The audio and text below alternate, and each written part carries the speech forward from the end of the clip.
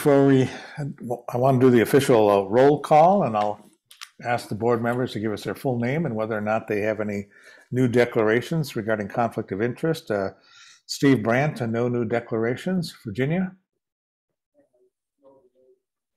Virginia Dale, no new declarations. Tom? Tom Holzer, no new declarations. Tanya? Tanya Heikkila, I have one declaration. I am uh, currently working with Professor Mark Lubell at uh, uh, University of California, Davis, and uh, we're analyzing some data and working on a report from the survey that he recently administered on the science enterprise in the Delta. And I don't anticipate any conflicts, but if uh, that research or reporting becomes subject to ISB review, I would certainly recuse myself from that. So. Thank you. Jay? Uh, Jay Lund, uh, no new declarations. Diane? Diane McKnight, no new declarations. Uh, Bob? Bob Naiman, uh, no new declarations. And Lisa? Lisa Wainger, no new declarations. Thanks, everyone. Uh, Joe Fernando will not be here today or tomorrow. He is uh, in the field doing research. Um, for the agenda, to, today's agenda, we'll be hearing a series of presentations to better orient the Delta ISB on Delta Science issues and management issues. And on day two, we'll have our uh, normal meeting, but we'll be spending most of our time talking about current and future ISB reviews. So I'll move on to item number two, which is the uh, uh, orientation presentations. Uh, first off, we're going to hear about the operations of the State Water Project and Central Valley Project the DWR, and Kristin White from the U.S. Bureau of Reclamation. Uh, these presentations were, uh, we're having a series of presentations in January and February to kind of orient the board to some of the major science issues, the major management issues uh, in the Delta. This came up for a couple of reasons. One is for new board members, we wanted to get a more thorough background of some of the real complexities of the science and management issues and we decided to have a series of presentations on water issues in January and a series of presentations on uh, fish in uh, February. We'll talk more about how those are progressing. The second reason for doing this is that with the Delta Science program's assessment of the board, recommendations that we better familiarize ourselves with agencies, with management issues, and and uh, uh, overall realities of Delta Science and management that we should spend more time talking to agencies and listen, and more or less listening to agencies. So that's the reason for as well for these uh, presentations today.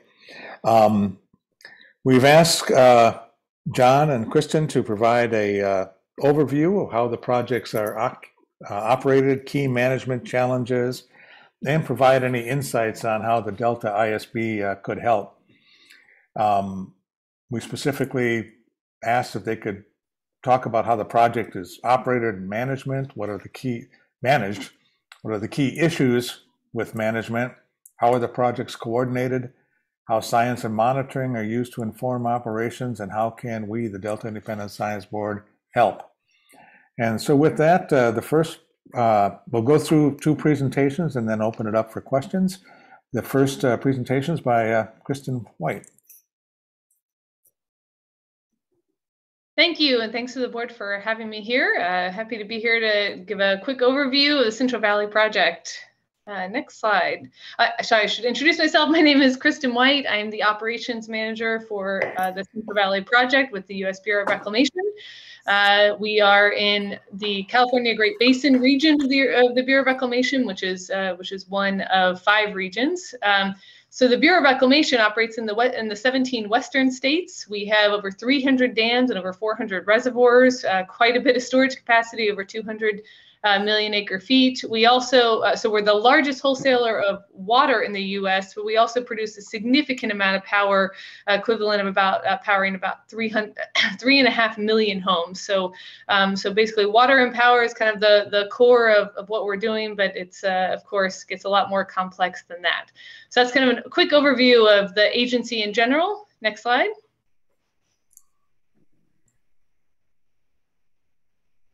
So we focus a little bit more in the Central Valley Project, which is one of the projects within, within our California Great Basin region.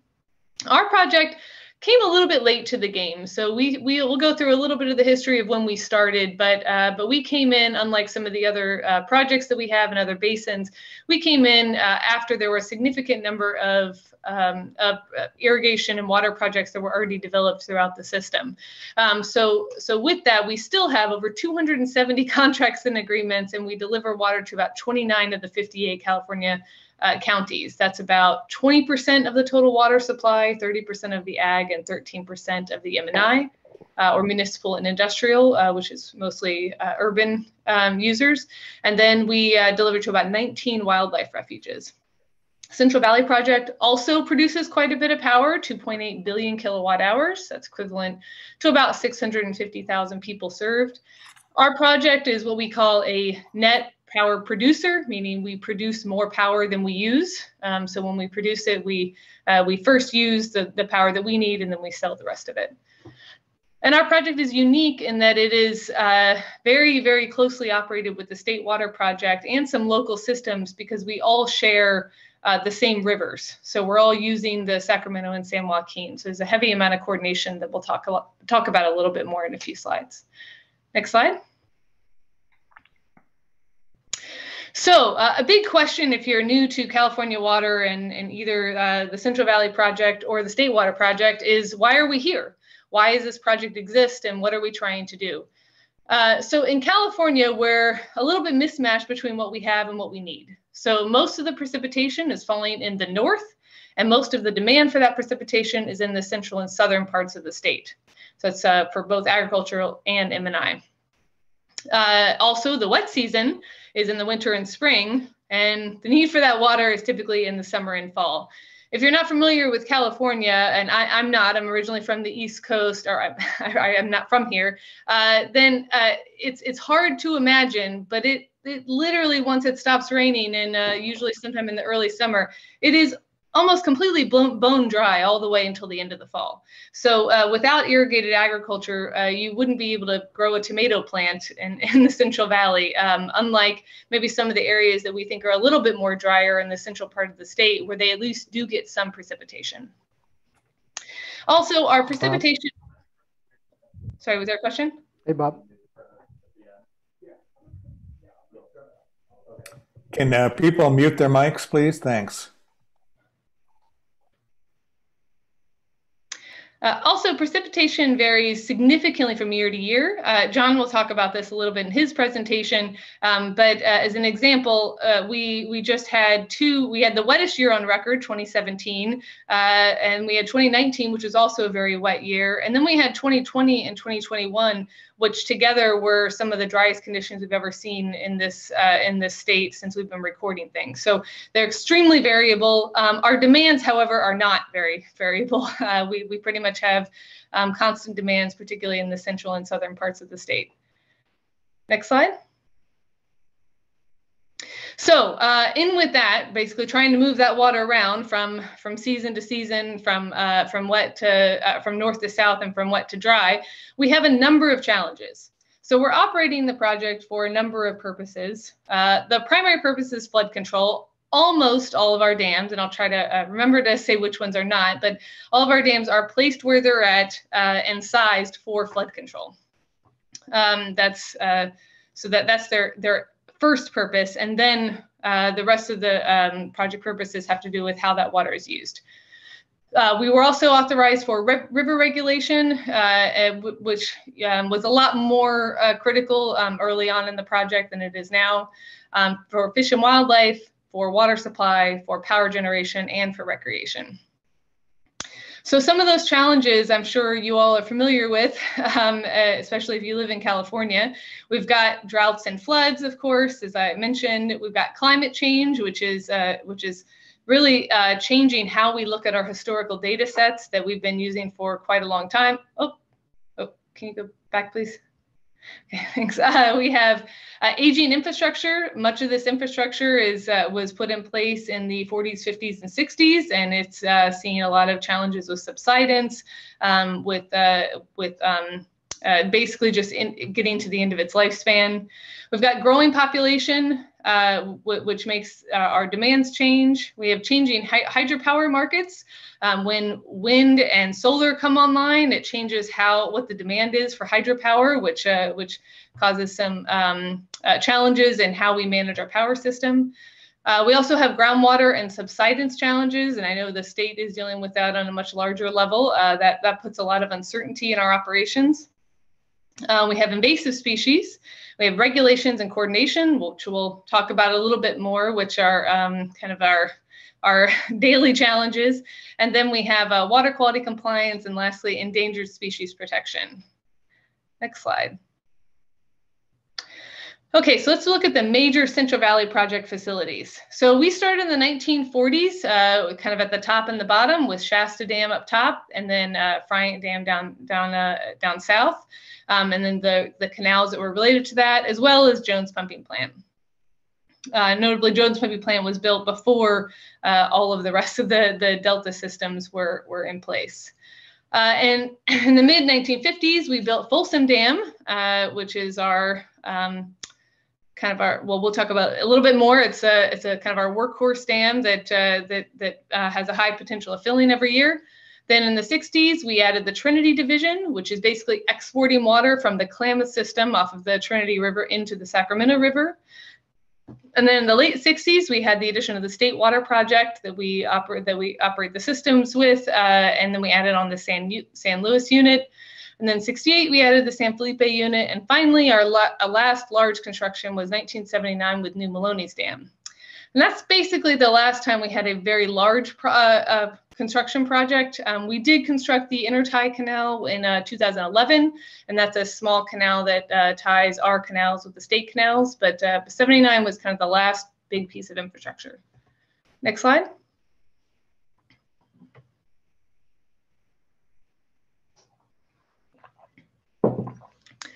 Great. So if we kind of a quick overview of our major dams. So we have Shasta Dam located up uh, north of Redding, and it's our largest dam. We kind of consider it our, our keystone dam. Uh, it's the largest dam in California. It operates for flood control primarily uh, um, in those wetter years, uh, water supplies, temperature management, power generation, and water quality benefits. And we'll talk a little bit about what those look like in a few slides. It's about uh, four and a half million acre feet and I think I already said it is the largest in California. Next slide. So then we have our uh, Trinity Reservoir, which uh, which is much smaller than Shasta at only 2.4 million acre feet. It's up near uh, Weaverville within the Klamath River Basin on the Trinity River. Um, it functions for a similar water supply in the Sacramento River system, regulatory requirements in both the Sacramento and Klamath systems, and hydropower if we say that Shasta is our keystone facility for uh, for water supply within uh, within our project, then Trinity would be the keystone facility for power. And we'll talk about that uh, in a few, in a few slides. I've got a, a, a graphic that shows why that is. Next slide. Okay, then we have Folsom. So uh, Folsom's not our smallest reservoir. Uh, is, uh, which is uh, about half the size, but but Folsom is a much smaller reservoir and a much larger watershed. So it's uh, it's less than a million acre feet, and the average inflow in that watershed is about three to four million acre feet. So it's got a very high potential of filling, which means we rely on it a lot for meeting various demands throughout the system. Uh, it's also located on the American River up near Sacramento. Sacramento is uh, has a very high flood risk, and there's a lot of flood uh, infrastructure challenges around Sacramento. So it's a key piece of that system as well. Um, and it provides for flood control, water supplies, temperature management, power generation, and water quality benefits similar to Shasta. Um, basically, Shasta and Folsom, and, and to some degree Trinity, are all operated kind of in, uh, um, in an integrated fashion together to try to meet various objectives uh, within the system. Next slide. And then we have our last dam uh, uh, from uh, that was constructed, uh, New Melones. Um, if, if Folsom is a small dam on a large watershed, New Melones is the opposite. It is a very large dam on a very small watershed. So it's about 2.4 million acre feet, but the average inflow to this reservoir is about 1 to 1.2 million acre feet. So uh, the reservoir is a double the size of the average inflow, meaning it has a very low refill potential. Um, it's out about 40 miles east of Stockton, and it provides water for fishery requirements, water quality, water rights, uh, and, uh, and agricultural, municipal, and industrial water needs. Next slide. And then we have Friant, our smallest reservoir at uh, right around a half a million acre feet. It's over near Fresno, uh, and it operates to divert waters uh, into two very large canals within to deliver water in the San Joaquin Valley. And it also operates for the San Joaquin River Restoration Program. Next slide. Okay, then we have San Luis. San Luis is a, a, an off-stream reservoir, meaning we pump up into it, so it doesn't have much natural inflow. Uh, and, and this stores water that's pumped out of the, the Bay Delta area. Uh, we constructed this jointly with the state of California and we operate it jointly with the state of California. Uh, the federal portion mainly supplies water to uh, the western portion of the Central Valley, and that's primarily for agriculture, but also for some municipal and industrial and refuge supplies. Next slide. So Tracy pumping plant is what gets that water up there, um, although not not directly. Uh, so uh, this is a, a very large pumping plant that moves the water about 200 feet up into the Delta Mendota Canal, uh, which we'll talk about in the next slide. Uh, right, it has a license to pump about 4,600 CFS. However, uh, as we talked about, the challenge of aging infrastructure, subsidence has caused those canals to sink uh, and, and given us some major challenges with ever getting up to that amount. Uh, right now, we're probably closer to 4,200 is a max, although we are working on, on efforts to try to, uh, to maintain those facilities and get them, get the capacity back. Uh, next slide. And then we have the Delta Mendota Canal, which I, which I just mentioned. And so this carries water from the Jones pumping plant in the Delta all the way down to the Mendota Pool with a stop off at San Luis Dam uh, to, to be able to put water up into that dam. And, uh, and I think you can see on the map, it runs uh, down in the Central Valley. Next slide. Okay, so I talked briefly about how if Shasta is the, the keystone of the water supply, then Trinity is the keystone of power. And this is a graphic to, to show you why. So we often think about power in our project as ancillary to water supply. So that means when we release water for water, uh, not just water supply, for, but for any water demand. So when we release, release water for water supply or to meet a regulation or to meet a, um, a, a fish requirement or, or, or some other purpose, um, uh, then then we produce power off of whatever was released. Um, and as you can see in here, uh, Trinity, um, and so hopefully it's uh, the, the larger the drop, the more power you're going to produce for every drop. So Trinity, as you can see, is drops almost 2,500 feet uh, into, into the Sacramento River. It's about a, a 2,000 foot drop just from the dam to Keswick, and it passes through four power plants. It goes through the Trinity Power Plant, through the Carr Power Plant, Spring Creek Power Plant, and then it's not on here, but then it finally through the Keswick Power Plant. So it, it, it generates quite a bit of power for a single drop of water, as where some of our other facilities only go through one or maybe two facilities, and it's a much smaller drop.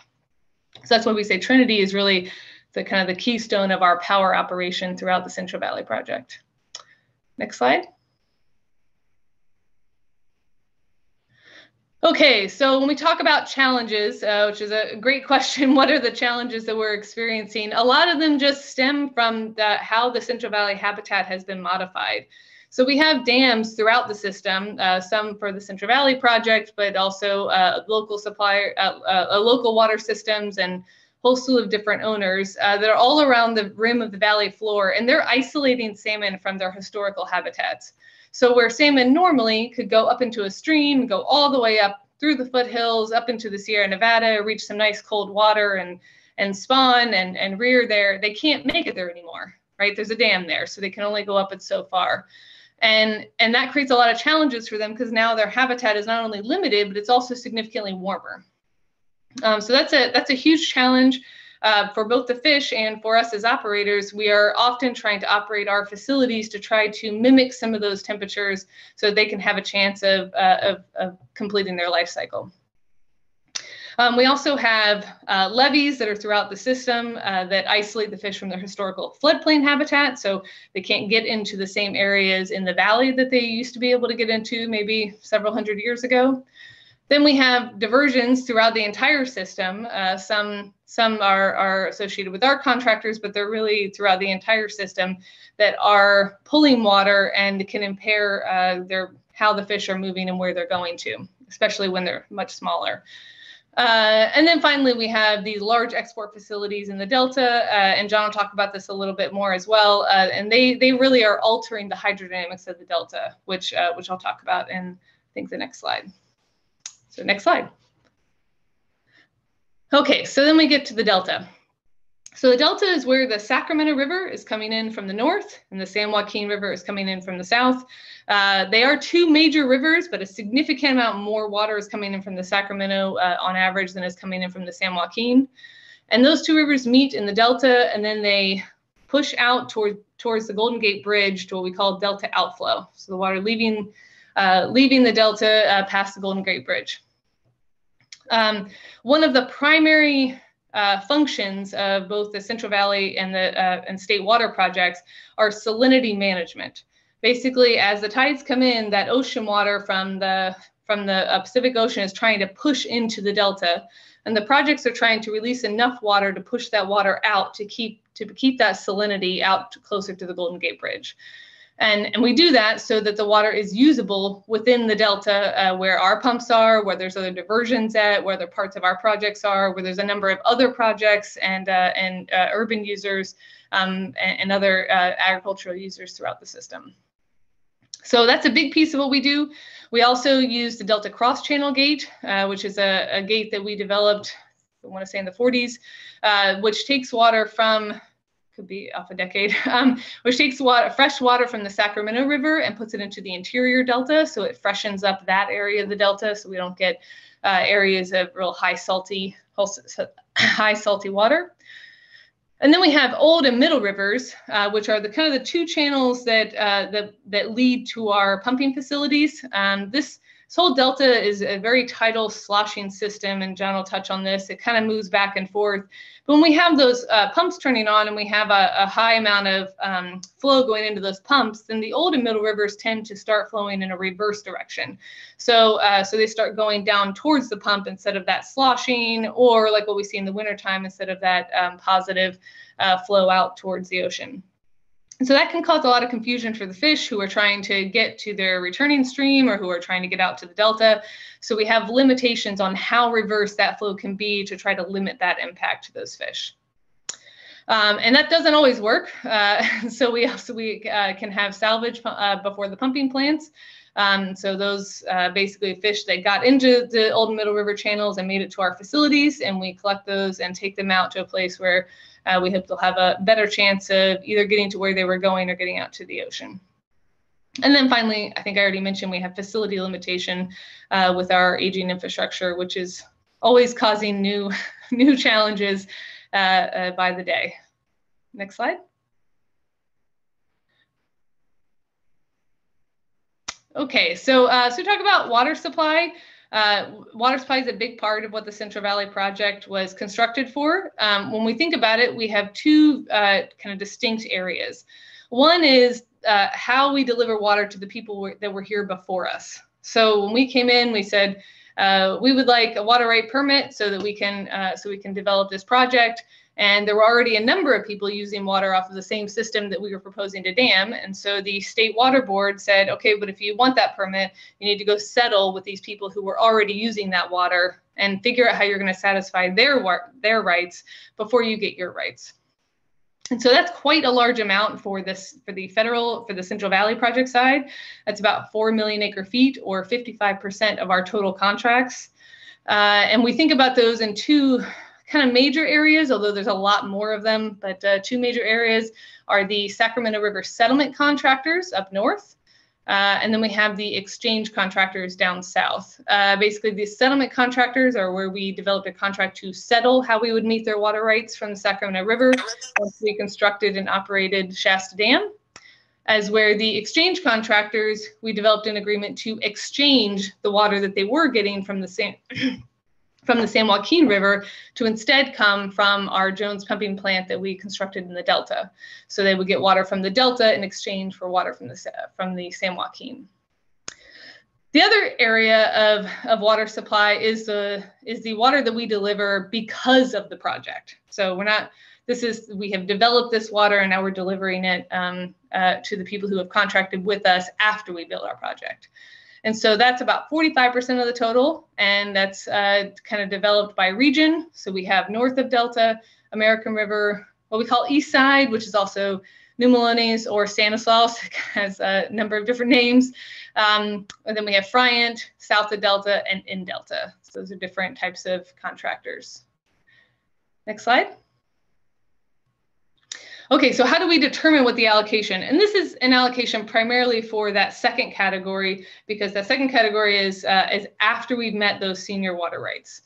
So uh, for the settlement and exchange. So how do we, once we've met them, how do we determine our allocation? And this is kind of a, a big picture view of the, what the process looks like. We take all of our conditions that we know, right? So we know where the reservoirs are at now. We know what the seasonal forecast is for, for how much runoff we should get in the future. Uh, we've got other project inputs. What are other projects doing? How are they operating? What do we think the demands are going to be? What are those estimated minimum river flows? What do we think the requirements are going to be uh, to keep in the river? And then what are the requirements going to be in the delta and how much water needs to be released to meet those? And then we have what we know we want to get out of that, which is the river, the forecasted river releases, storages, exports, and exports means pumping in the delta, and then the uh, operations in San Luis. Uh, and then we iterate. So we take all of those and we iterate uh, amongst a, a, variety of goals. So those goals look like maximizing those deliveries while meeting uh, reasonable upstream carryover storage, fishery requirements, water quality requirements, minimizing excess conditions. Excess basically means that there's water that's going out past the Golden Gate Bridge that doesn't have a designated purpose. So that's an excess water, try to minimize that, uh, minimize our flood control encroachment because we don't want to uh, have reservoirs that are too high that then cause us to have uh, huge releases once a storm comes in that then causes major downstream impacts. Um, we want to meet our share of the requirements, and we'll talk a little bit about uh, how we do that, and I think John will touch on this as well. Uh, and then we want to minimize San Luis carryover storage. So while the upstream reservoirs, we want to have a reasonable carryover storage uh, to, to protect against what future water supply might look like, for San Luis, it's an off-stream reservoir, so we only pump water into it. So we want to maximize that use, where it can it can ideally fill in the spring and then pull all the way down by the maximum demand period, usually sometime around August or September. And from that, we get estimated water supply allocations. Next slide. So we have a number of various operating agreements. This is not an all-inclusive list. It's just a, a, sample of kind of some of the big ones. Um, so we, I'll start with the uh, with the first four. That's our state water right permit. So that's uh, uh, primarily dictating what kind of requirements we need to meet in the delta. It regulates how far out we need to push that that ocean water, and then how much water needs to be flowing past Golden Gate Bridge, among a, a slew of other requirements. We also have uh, our biological opinions from U.S. Fish and Wildlife Service and the National Marine Fisheries Service. Those uh, are uh, how we operate in order to protect endangered species. Um, and then DWR has the uh, CDFW incidental take permit, which I think John will talk about in a minute. And so we have a number of requirements that we're meeting, and there are more than that. Those are kind of the, the, the big four. Uh, and then we have a coordinated operations agreement between uh, Reclamation and DWR on how we're going to meet things that are common to both projects. So for example, we're both using the Sacramento River. We're both meeting, we have a requirement to meet a delta outflow. So how are we going to make sure that that delta outflow or that salinity barrier is maintained? So we have an agreement that defines how that's shared. We also have a number of, uh, of laws, such as Central Valley Project Improvement Act and the Water Infrastructure Improvements for the Nation Act, that that has uh, um, requirements for our uh, for our projects. One of the big ones that came out of CVPIA. Just realized the project word is missing out of that. It says to be Central Valley Project Improvement Act. I apologize. Um, uh, one of the components of that uh, came out of uh, required deliveries to wildlife refuges. Uh, so that was passed in 1992, and uh, that was a that's a requirement that we have that um, uh, the, to meet those demands both north and south of the delta. Uh, we also have a number of, of agreements, such as between the Army Corps and uh, and CDFW and uh, the FERC, the Federal Energy Regulatory Commission, and and a whole slew of other acts, um, in addition to our supply contracts and agreements. Um, so quite quite a number of things that we're looking at on a regular basis to make making sure to make sure that we're uh, that we're meeting our requirements. Next slide. So uh, this is not meant to be read, but just an example. Uh, this is these are our state permit requirements, and it's January through December. And so the intent of this slide is to show you that every month has some requirement that needs to be met. So this is what we're looking at on a very regular basis is what is the requirement? Um, there's a whole slew of footnotes in here that modify some of the requirements. Um, so taking taking into account those and uh, and where are we at and where do we think we're going? Next slide. And then similarly, this is a slide, and I apologize. This one is October through September, and this is for our uh, for Endangered Species Act protection. Uh, these are our is the operations that are included in the biological opinions. Again, you can see that there is something in every single month. So uh, so there are um, constant um, uh, requirements that we're that we're watching, monitoring, and meeting. Next slide. Okay, so coordinating is a big part of what we do. Uh, we coordinate uh, probably most with the Department of Water Resources as the project operator since we are sharing the river systems and we're sharing the regulations. Um, we're also coordinating heavily with the uh, State Water Resources Control Board, the U.S. Fish and Wildlife Service, State uh, Department of Fish and Wildlife, and the National Marine Fisheries Services as regulators. So they are all uh, uh, they provide us permits so that we can operate. So we're constantly working with them on how we're meeting the um, objectives of the permit. We also coordinate heavily with the Army Corps, who is both a project operator and a regulator. They operate facilities that affect our facilities, such as Pine Flat Dam, which under certain conditions can actually flow into our system and make it to the Delta. Um, they are also a regulator as the uh, manager of our flood control um, uh, limitations. So constantly working with them.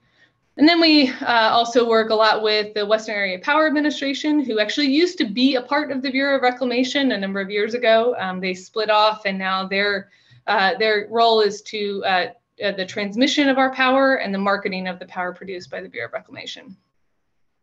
And then, of course, we coordinate heavily with uh, a number of local system operators and various stakeholders, such as Delta Stewardship Council. Next slide. Okay, so uh, typical operations planning schedule. So this is not meant to be a, a, a, full list, but just kind of an example. We're looking at things on a monthly, weekly, and daily basis. So monthly, uh, which is, um, uh, we're looking at it monthly, but each month we're looking at it uh, seasonally. So we're looking at a seasonal runoff forecast with both short-term and long-term forecast. And that leads into an operational forecast, which says, what do we think the next 12 months is gonna look like looking out from here? Um, and then we also have watershed technical team meetings that are monthly and we discuss operations and fishery conditions and make adjustments to operations based on what those fishery conditions are. We have weekly coordination, uh, which is uh, looks like the salmon and smelt technical teams that meet weekly on operations and fishery conditions, very similar to the monthly ones. These just meet weekly, but they're looking uh, more closely at the fishery conditions, looking at the monitoring sites, looking at um, uh, various uh, inputs and, and um, uh, information they have and making adjustments to operations based on that. Then uh, we are uh, regularly reviewing our regulations and agreements, kind of looking at those bars and seeing if there's anything new that uh, is coming up based on the conditions. And then we're forecasting our changes to the operations about three to five days out. Um, and that's so that we can, uh, as I mentioned, we produce more power than, than what we use. So we, we try to schedule those changes three to five days out so that we have an accurate depiction of what power we're not using so that we can then sell that power or that WAPA can sell that power. Uh, then we've got uh, daily operations. So every single day, the operators are discussing current conditions. They're making adjustments as needed based on what we've seen, and we're coordinating with the state water project operators. Uh, we're actually, um, although we're all working virtually, or, or uh, many of us are working virtually now, um, uh, we are co-housed uh, in the same building with the state water project operators. And then finally, I just have uh, our allocations. Our initial allocation is in February, uh, and we typically do uh, updates as needed March through June. I think I have seen them come out as late as September um, uh, for changes, for significantly changing conditions, but it's typically March through June. And I think that's a quick overview. Uh, next slide. Yep. So I can take any uh, CVP focused uh, questions if there if there are any, or we can, uh, for more broad, big picture, probably best to wait for um, for John Leahigh's presentation. You're on mute. Kristin, I have a question about siltation of reservoirs. Um, I was reading an article recently about, uh, and I think they were describing primarily eastern reservoirs and maybe reservoirs in Colorado.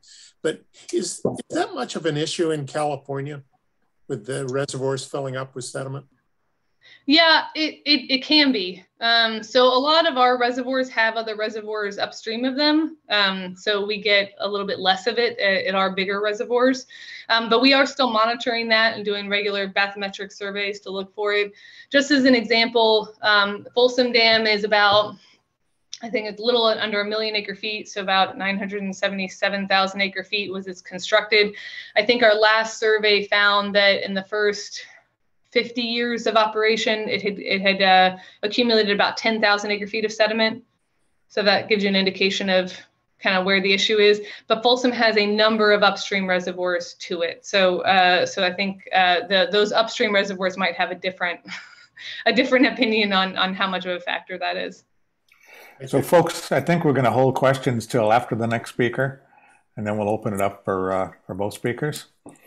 Um, so the next speaker is uh, John Leahigh from uh, DWR.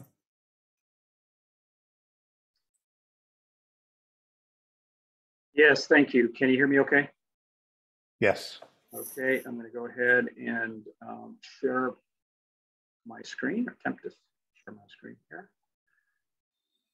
Uh, can everyone see that okay?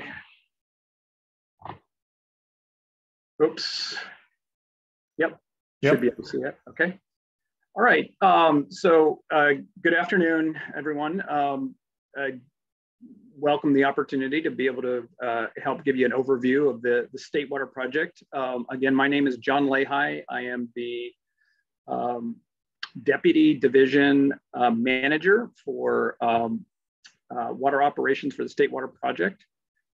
Um, and um, I hope that my presentation here is uh, fairly complementary to uh, Kristin White's. Uh, there is a lot of similarities I think that you'll find between the, the two projects. Um, if uh, you know if Central Valley project was late to the game, then uh, State Water project is really late to the game. Um, it was mostly constructed, uh, the contracts, original water supply contracts signed in the 1960s. Um, so um, let me go ahead and, and uh, give you an overview of what I plan to present here in my presentation. Um, I will start with uh, sort of the, the, the, premise behind, as Kristin had indicated, um, the, the, reason for the projects, uh, uh overview of California's very unique uh, hydrology. Uh, then I'll get into some of the facilities of the State Water Project, um, operational challenges. I'm going to focus, um, although uh, many of the same items that were on Kristin's list uh, are applicable to the State Water Project. I'm going to focus on two major ones in particular, which is the variable hydrology and uh, delta constraints. Um, and then I'm going to go over the State Water Project's uh, allocation process as well. So uh, just to back up and um, similar information as what uh, Kristin provided. Uh, but uh, for those of you that maybe are not uh, native to California, um, it is, uh, there is a very distinct difference between where much of the rain and snow falls in the state.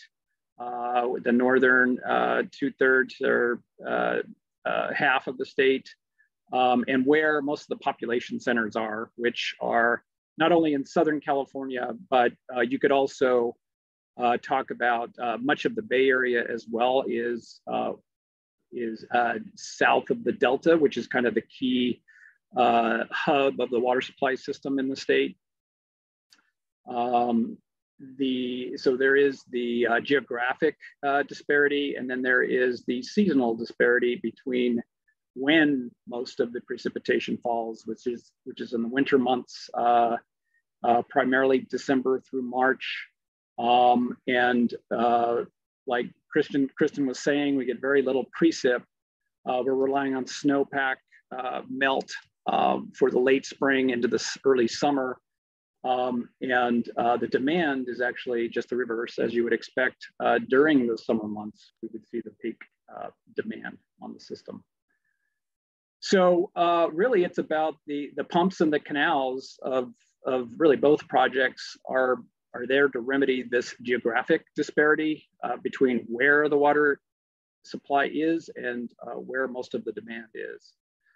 Um, in terms of the disparity, the temporal disparity, uh, the reservoirs remedy that in terms of capturing the direct runoff and the snow melt in the winter and the spring, and then releasing that later uh, during the higher demand periods.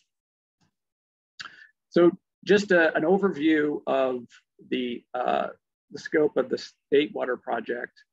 Um, our primary uh, water supply reservoir and also serves a major flood control uh, purpose is Lake Oroville um, in the north part of the state, uh, feeds the Feather River, uh, confluence here with the Sacramento River uh, and the Yuba River, um, as far as uh, releasing water into the Delta, the San Sacramento San Joaquin Delta. Uh, Clifton Court Forebay is, is our primary diversion point for most of the water for the State Water Project. There is a, a smaller diversion point um, at Barker Slough um, in the north part of the Delta that does uh, supply water to uh, Solano and Napa counties. Um, we also have a South Bay aqueduct that provides uh, water to uh, Santa Clara and Alameda counties. Um, and then much of the water is also uh, this is the San Luis Reservoir that Kristin referred to earlier. It's in purple here because it is a joint use facility. Um, and uh, so approximately a little over half that uh, reservoir uh, is for State Water Project storage and um, the other half for Central Valley Project storage. Um, there is a San Luis Canal, uh, which is one reach of the California Aqueduct uh, on which the deliveries are really to uh, Central Valley Project customers. Uh, so again, in purple, this is a joint use facility between the two projects.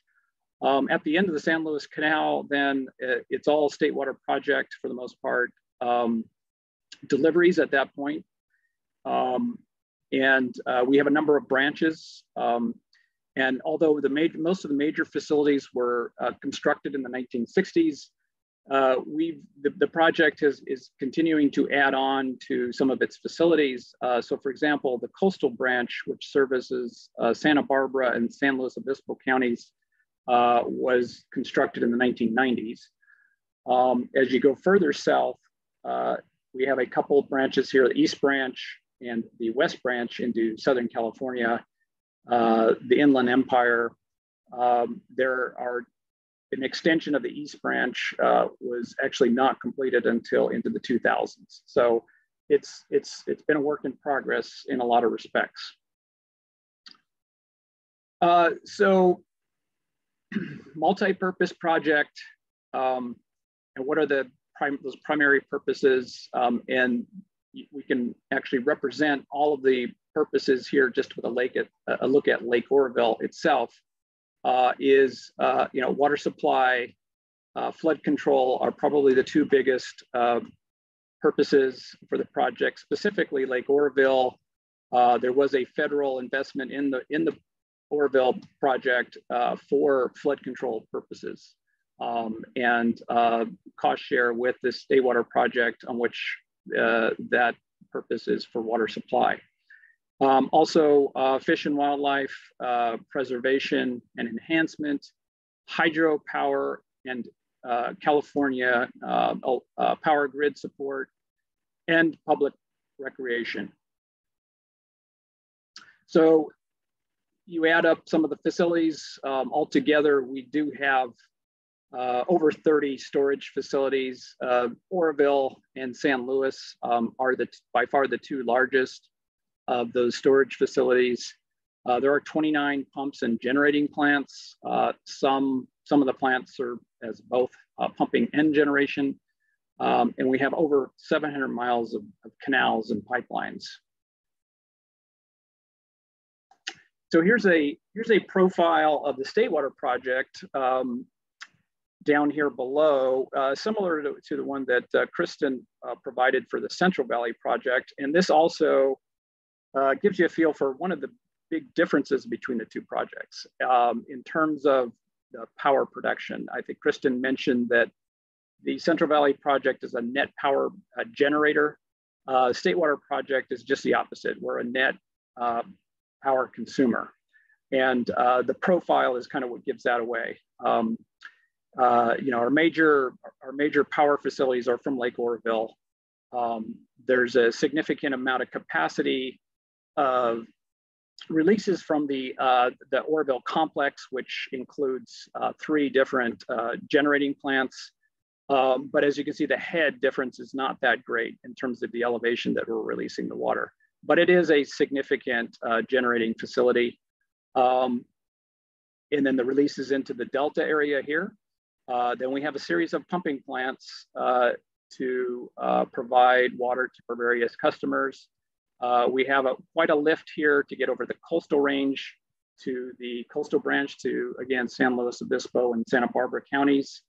Um, and then a very large uh, lift of over 3,000 feet um, over the Tehachapi range here into the LA basin. Um, and so it takes an enormous amount of, of, of, power to lift the volumes of water that um, are uh, provided to um, uh, many of our, our, our, customers down in um, Southern California. There are a number of recovery generating plants that do partially recover some of that energy that took to uh, lift the water over the Tehachapis and uh, through the use of timing and um, uh, really, do, you know, the, the, a lot of the we have a lot of regulating reservoirs that that that help uh, pro provide the opportunity to pump when power is the cheap is cheaper and uh, generate when power is uh, most in need. So um, that's that's uh, an opportunity to offset some of those costs uh, of lifting that water over the Tehachapis. Um, so the I'll talk a little bit more about the Oroville complex. Uh, again, it is the main uh, reservoir, water supply reservoir for the State Water Project. Uh, holds 3.5 million acre feet. Um, incidentally, um, I believe Kristin mentioned that the American Basin, uh, the inflow is a, a, little over 4 million acre feet on, on, on average per year. Um, that's about the same as the feather. It's a, probably a little bit larger than the American, but the the reservoir itself is three and a half times the size of Folsom. So that gives you a feel for uh, what she was talking about in terms of watershed and size of reservoir. Um, uh, Oroville Dam uh, is an earth-filled dam um, with a concrete core. It is 770 feet high. It is the tallest dam in the United States uh, even larger than Hoover Dam. Hoover Dam look, probably looks uh, a little bit more spectacular uh, in the, given it's a concrete arch dam, but um, believe it or not, uh, Oroville Dam is actually a higher, taller dam than Hoover. Um, gated spillway, um, a little under 300,000 CFS capacity. typically though, we would be releasing per our flood control rules, which should be something uh, shy of 150,000 CFS. Um, largest, uh, it is the largest uh, hydropower plant in uh, the entire portfolio for the State Water Project, um, a little under 900 megawatts. The, one of the other major facilities I'm gonna highlight here is that Edmonston uh, pumping plant that I was talking about earlier, where it's the highest uh, pump lift in the world. Um, as far as I know, I think that is still true, um, but it's a little it's a little shy of 2,000 foot lift on just that one from that one pump. Um, in, and it's a significant amount of water uh, that is can be pumped by this plant. Um, as you can see, 4,400 CFS, um, which is a uh, It's, it's really, it would consider that a river of, of water that is, we're able to pump over the Tehachapi's. Um, it has 14 uh, 80,000 horsepower, 60 megawatt uh, pumps. Um, total load on that plant, uh, 840 megawatts. So um, to put that in perspective, um, you know, that's that's almost as, as high as what uh, Oroville uh, complex can generate in terms of power is the same amount of power uh, that at full load, uh, the Edmonston pump would be uh, utilizing to pump over the Tehachapi's. Um, and yeah, it is it is the largest uh, contributor to the pump load for the project. Um, so here are the back in the uh, the 60s, as I had indicated, um, is when the project uh, we did uh, enter into contracts, water supply contracts with 29 different water supply districts and agencies throughout the state. Uh, this shows you where they are geographically. There are a couple locally up here at um, near Lake Oroville. Um, and uh, the State Water Project is primarily uh, urban-based uh, water users. Um, there is a significant uh, agricultural use in Kern County. Um, and, uh, but other than, than that, uh, most of the water is to urban contractors. And you can see the entire list here. I had mentioned North Bay, South Bay, the San Francisco Bay Area, and um, many of the areas uh, in the LA Basin all the way to San Diego um, and uh, the Inland Empire. This gives you a feel for uh, the volumes of those contracts and uh, where uh, the water is delivered. So um, the, the largest contractor is Metropolitan Water District of Southern California, so just under half of the entire what, table A supply. So that's the total, uh, a little over 4 million acre feet of contracted supply from the State Water Project. Um, the second largest user is agriculture, is the also the largest agricultural user, Kern County Water Agency, about a quarter of the uh, contracts. Um, and then you can see some of the other um, more significant uh, urban areas here. Um, and then the other the rest of the 29. So here's the, the pie that shows um, in the lower right-hand corner here uh, that about a quarter is from ag contractors and the other three quarters for M&I contractors. So now I'm gonna talk a little bit about the challenges. Um, that entire list that Kristin has certainly applies to State Water Project as well in terms of aging infrastructure and subsidence and those types of issues. Um, but I'm gonna focus on a couple here, starting with the variable hydrology. So um, besides the uh, kind of the seasonal disparity in, in the precipitation in the state, uh, which is a constant, um, what we really have a, a, large variability in terms of the annual water supply that we see in the state. And in fact, we have the most varied water supply of any uh, state in the, in the country. So um, the uh, if you look here, this is the uh, fraction of the uh, standard deviation over the, the mean annual precipitation. So um, out east, uh, pretty much see the same amount of precipitation every year. Um, it starts to get more varied as you move west. And uh, California, uh, Northern California, quite varied, and Southern California, even more varied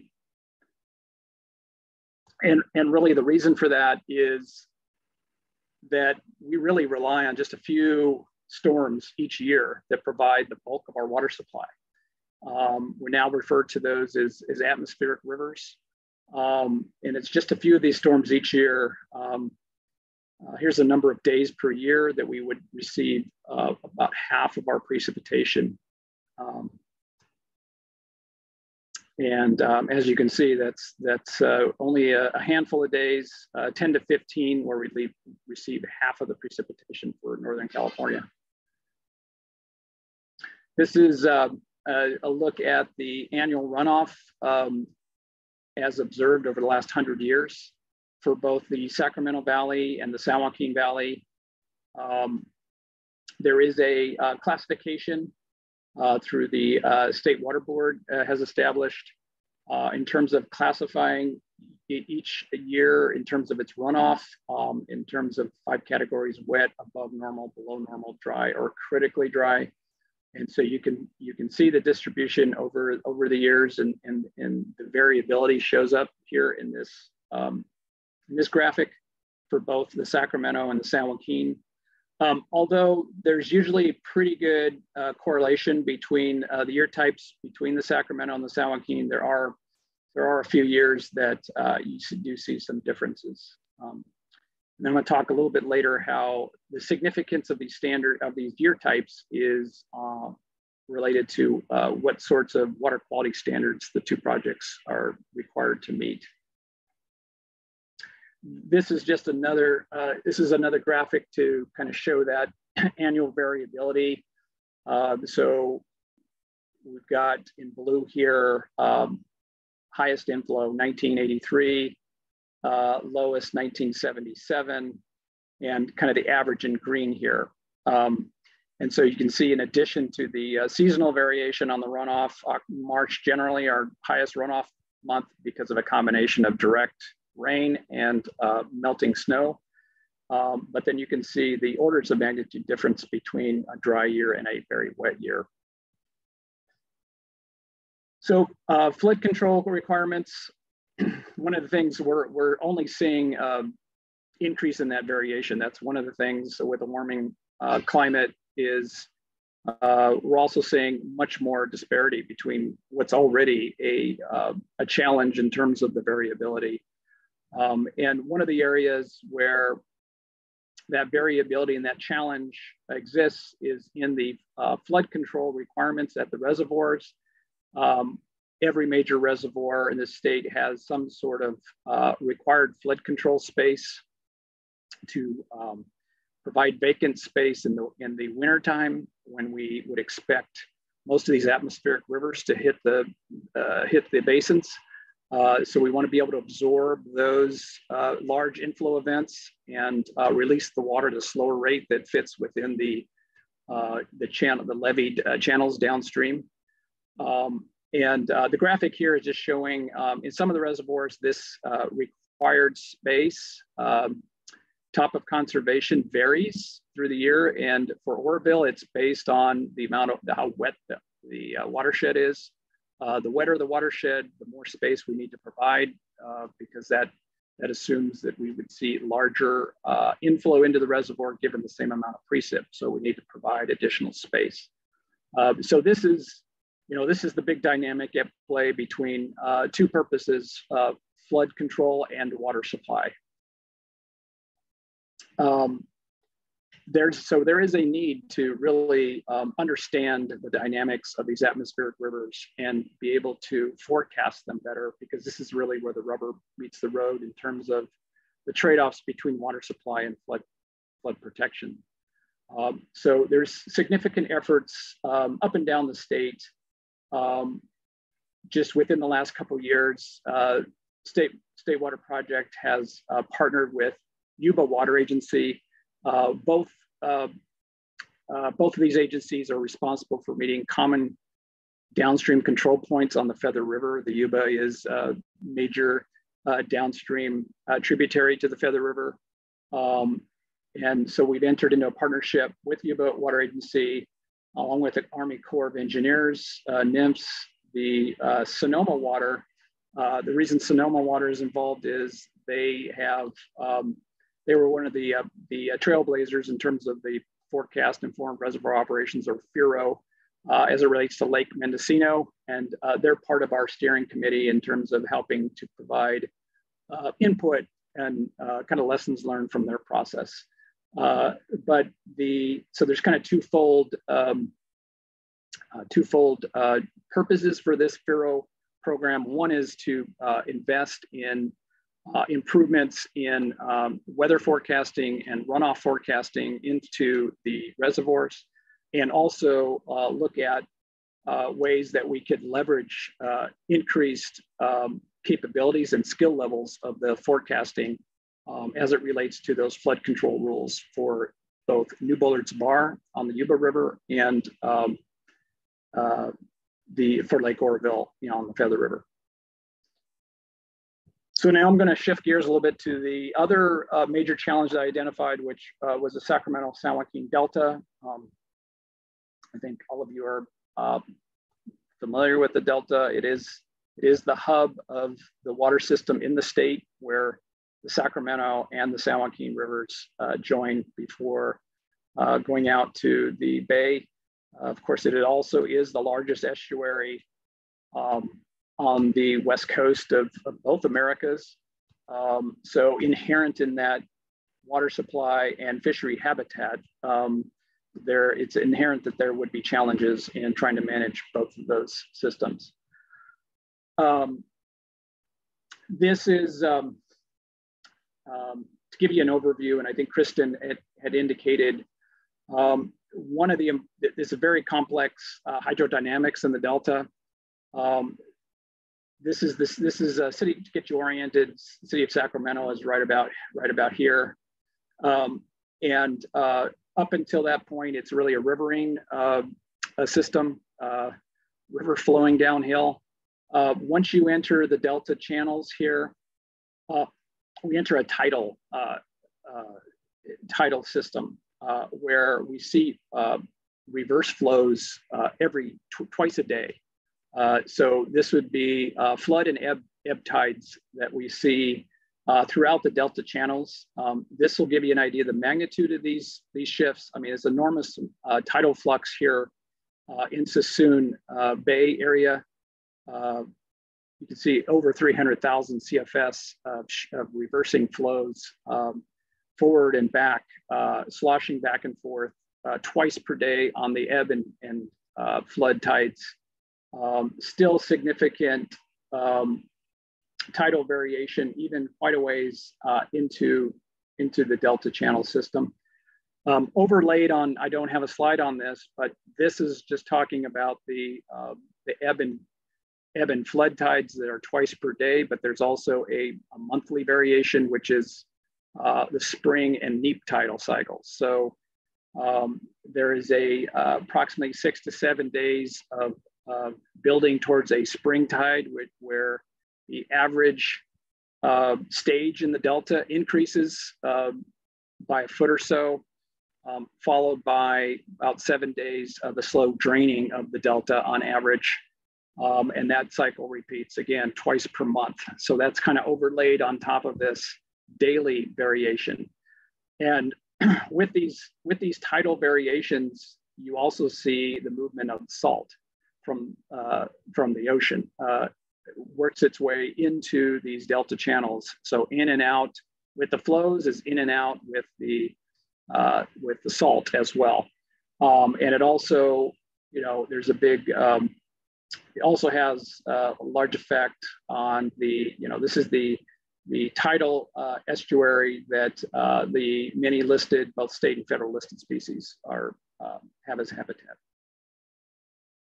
So the, um, I think Kristin had mentioned this as well. So uh, kind of mission one of the releases from the projects, um, and this is primarily, this is in the summertime. This is a, a pre-project, post-project look at the Delta and the Delta channels.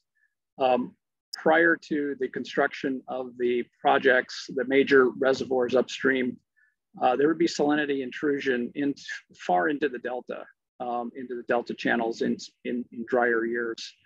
Um, in, in order for there to be a, a, a uh, reliable supply, continuous supply to uh, both the users within the Delta and the uh, major uh, intakes for the two uh, Central Valley Project, and State Water Project in the South Delta, job one is to provide a hydrologic barrier to provide a freshwater corridor uh, through the channels that, that uh, Kristin had mentioned earlier, through the cross channel, uh, down through some of the channels into the central delta and then Old Middle River uh, towards the pumping facilities here in the South Delta. Um, so um, that's also related to the standards that we have to meet um, as part of our, our water rights with the State Water Resources Control Board. So these are the two major buckets for the regulations, the Delta regulations. One is uh, the uh, water quality control plan objectives, um, they're really divided. Uh, currently, uh, there's three major purposes, uh, municipal, industrial, agricultural, and for fish and wildlife. Um, and these, these regulations are, are fairly prescriptive in nature in terms of, it's kind of a cookbook, a lookup table, given a year type and a month here, X is the amount of outflow that's required or the amount of salinity level that is, that is uh, required at certain uh, locations throughout the Delta. Um, there is also, uh, the second major bucket is state and federal Environmental Species Act um, protections. And um, these are, uh, although there are certain triggers, um, ecological uh, triggers for, for actions that fall under this umbrella, um, it's, it's much more um, uh, based on monitoring rather than a, a fixed uh, prescriptive uh, reduction. So uh, what, you know, much of the actions are based on a range of flow targets uh, and uh, this will be informed by real-time observations within the Delta, both fishery and non-fishery type um, of data that is constantly being monitored. And so here are the, there are telemeter monitoring stations, uh, just a, a, sample of some of these. Uh, these are the flow and salinity uh, monitoring stations that can be accessed um, by the public through uh, the California uh, Data Exchange, uh, CDEC. Um, many of these are, you can see, are maintained by either DWR or, excuse me, um, uh, reclamation, and uh, there are a few from the USGS as well. And um, so this is this is primarily the flow and salinity monitoring that, that goes on.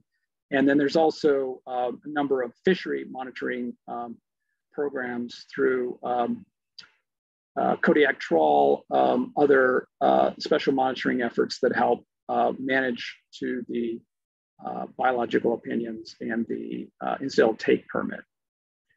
So talking a little bit more about this, this should look familiar. This is the, um, oops, this is the set of, uh, of standards for the, uh, from the water board. Again, it's divided into fish and wildlife, uh, M&I, ag, and fish and wildlife as it relates to water quality. So flow and water quality standards. Uh, and then this also should look familiar. This is the um, based on the uh, most recent biological opinions that uh, affect the long-term operations of both uh, Central Valley Project and State Water Project. Um, and uh, this is from the, the, most recent biological opinions in 2019. So I won't, just wanted to emphasize that that's both projects are responsible to meet those uh, requirements. This, uh, this third chart I have here, this is from California Department of Fish and Wildlife. This is the incidental take permit.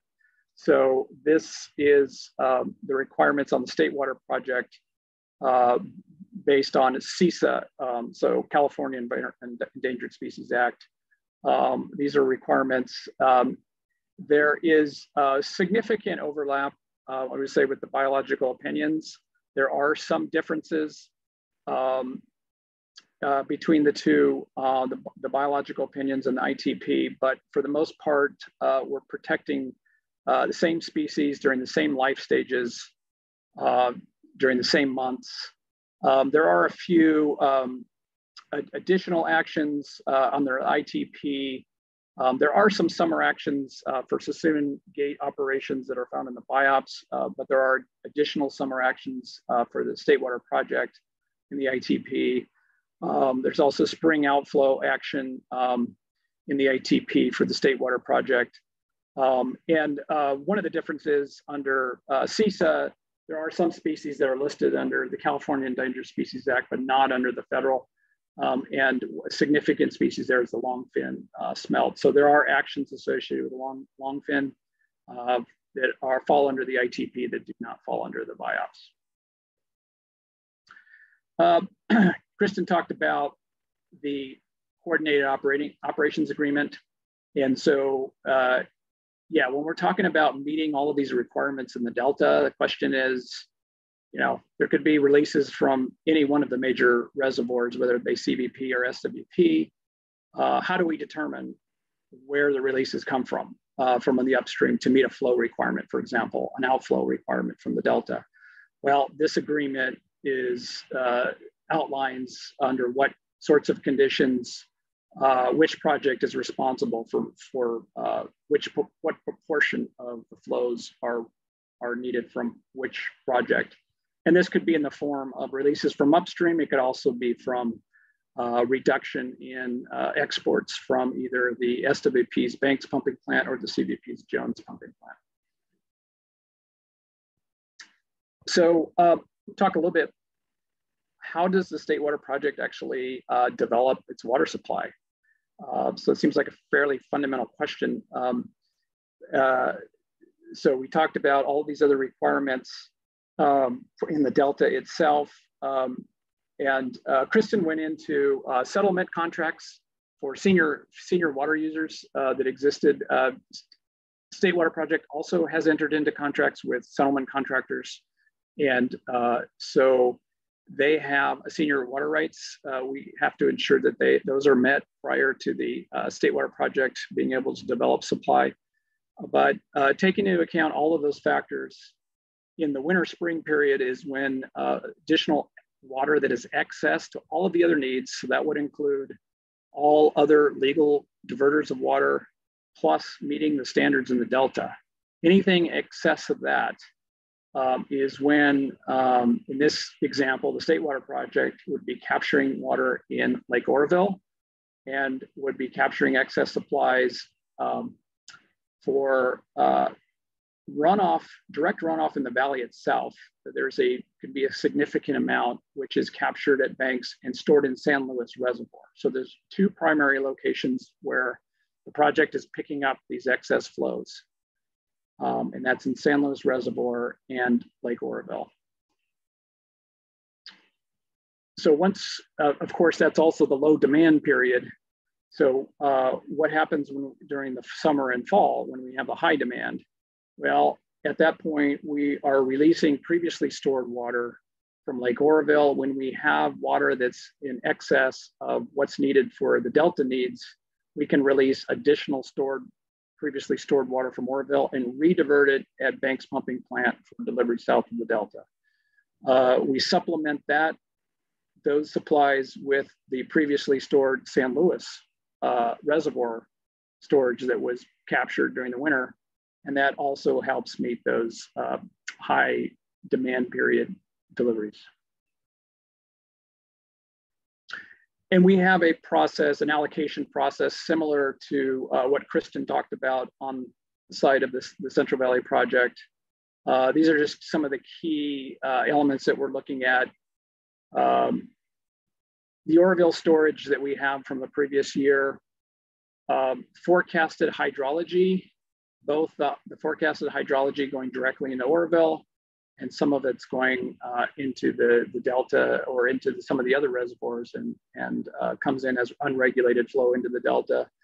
Uh, we need to know the timing of that uh, on a monthly basis. We get that sort of information from uh, DWR's uh, Division of Flood Management that also um, coordinates the snow survey um, process that is up and down the Sierra. They in cooperation with other Forest Service, other other water districts in the various watersheds. Uh, they go out and actually physically measure the snowpack, uh, compile the information, and uh, run through their models and come up with um, forecasted inflows to all the major reservoirs on a monthly basis for the coming year at various exceedances. So um, anything from a, a dry uh, scenario, 90% exceedance, to um, kind of median conditions for precip assumed for the rest of the year, to a wet uh, condition that would only be exceeded 10% of the time. So there's a full range of, of probability forecasts that we receive. Uh, we base our allocations on the more conservative uh, number. Um, we also take into account the uh, all of the delta restrictions that I just walked you through. Um, and we come up with uh, banks pumping capabilities Um, the timing is really important in terms of how much of that water can be stored in San Luis. Um, and then ultimately, we get our uh, delivery capability uh, uh, estimates for the year. And this is, we start this process. Um, unfortunately, our contracts are based on a, are, are require a December 1st initial allocation. And um, that that's a date that's very early, and it's really prior to getting the bulk of any uh, uh, rains for the year. Um, so it's primarily just based on the amount of storage that we have carried over from the previous year. Um, we have to, and then we make conservative assumptions on the amount of precipitation that will fall for that the remainder of that year. But that's the initial forecast. Uh, subsequent updates each month based on the snow survey information that I just talked you through, um, and any projected uh, delta regulations that would come into play. Um, and then the final, we step through that on a month-to-month basis through the spring with the final allocation typically made by June. I think this is this is my uh, last or second to last slide here. Um, uh, but this this gives you a feel how um, as as the as the project State Water Project has come online um, late 60s, um, the, um, uh, the the blue the blue line here is the request. So this is the requested demand from our 29 contractors as it's changed over the years. So you can see really that demand got to the full build out by about the year 2000. And um, the, uh, the green bars is how much of that requested demand we've been able to uh, meet uh, through the allocation process. And as you can see early on, we were most of the time, a few exceptions, 77 uh, drought on record, um, we were able to meet the uh, requested demand uh, we started to come up short in the um, kind of six-year drought, late late 80s, early 90s. Met it again during the, the, the wet late 90s period. Um, but now the last 20 years, there's a, there's a couple things going on. We have requested demand is, is um, been at its uh, full table A amount, which is a little over 4 million acre feet.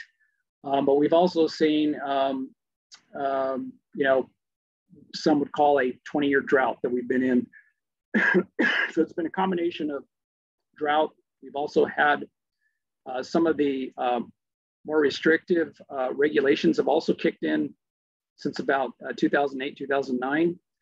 Uh, so combination of drought, um, uh, more regulation um, has put us in this essentially chronic shortage condition on the State Water Project in terms of we haven't been able to meet 100% delivery since 2006. Um, and uh, so that's that's kind of how we where we sit today. Um, and um, I believe yes, that was my last uh, slide. And uh, so I think uh, Kristin and I were, are both open for um, questions at this point. Well, I want to thank uh, you, John, and and Kristin for providing such a wealth of valuable information uh, for our science board, and we'll open the floor to board member questions. Bob, do you still have a question? Bob and then Diane. I do. I do have uh, two questions. Um, um, I think they're fairly simple to answer, at least two questions to start is the, uh, the dams that are in place for the most part, do they have fish passage facilities? Are they able to allow migratory fish to? That's my first question. Um, well, I can start. So our facilities, uh, trying to see if there's one that I'm missing, but they do not have fish passage facilities. That's one thing that we're looking into. They're very large structures. Um, and they also, many of them have uh, additional dams that are not owned by the federal government upstream of them. So that is something that we're looking into. I think we've been doing some studies on uh, fish passage, particularly at Shasta, for a number of years. Um, but it's certainly something that we uh, that we continue to evaluate. Um, but but most of our dams are are there's either um, challenges with the dam itself, or there, uh, in the instance of New Melones, there's two other dams that are downstream of it, as well as dams that are upstream of it. Um, so uh, more of a coordinated effort to be able to do fish passage um, back to those original habitat locations. Well, understood. It is a complex issue, very complex. Uh, second question has to do with, uh, I noticed in your photos that a lot of your uh, conveyance structures were open to the atmosphere. And I'm just curious as to what percentage of the annual influx of water that would come into the Delta is actually lost through uh, evaporation. It's either stored or transported to other parts of the state. Yeah, so um, I can I can start.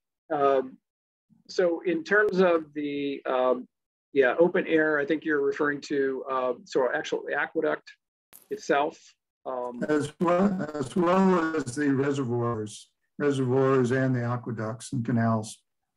Yeah. So um, yeah, I think the um, the evaporation. I don't have an exact figure on like uh, percentage, but there is not an, it's not an insignificant number in terms mm-hmm. of the mm-hmm. amount of evaporation that that does occur on the the surface uh, of like Lake Oroville, for example. Um, uh, I, yeah, I, I, would have to I would have to get back to you on on give you a better feel for what proportion that that that might be or into the total storage. Uh, I appreciate just learning what that is. you know, as you're well aware, in warm climates, it can be a significant amount of the annual input. And I, I'm just curious as to how much it is for the Delta area. Thank you. Okay, Lisa. Hi, thanks for those presentations. And, and I know that Diane probably had to go teach and, and hopefully she'll be back so she can ask her question. Um, I have two questions. I think they're related. So I was I was intrigued by that very long history of flow, or maybe it was precipitation that John presented. Um, and have you ever looked at whether the variability of flow has has really changed, or is the management challenge really that demand is so close to supply at this point? Yeah. So the um, yeah, we're definitely looking very closely at um, any changes um, to um, not only precipitation patterns, but more fundamentally the runoff uh, patterns, uh, because that's that's really where the rubber meets the road in terms of what we're actually managing.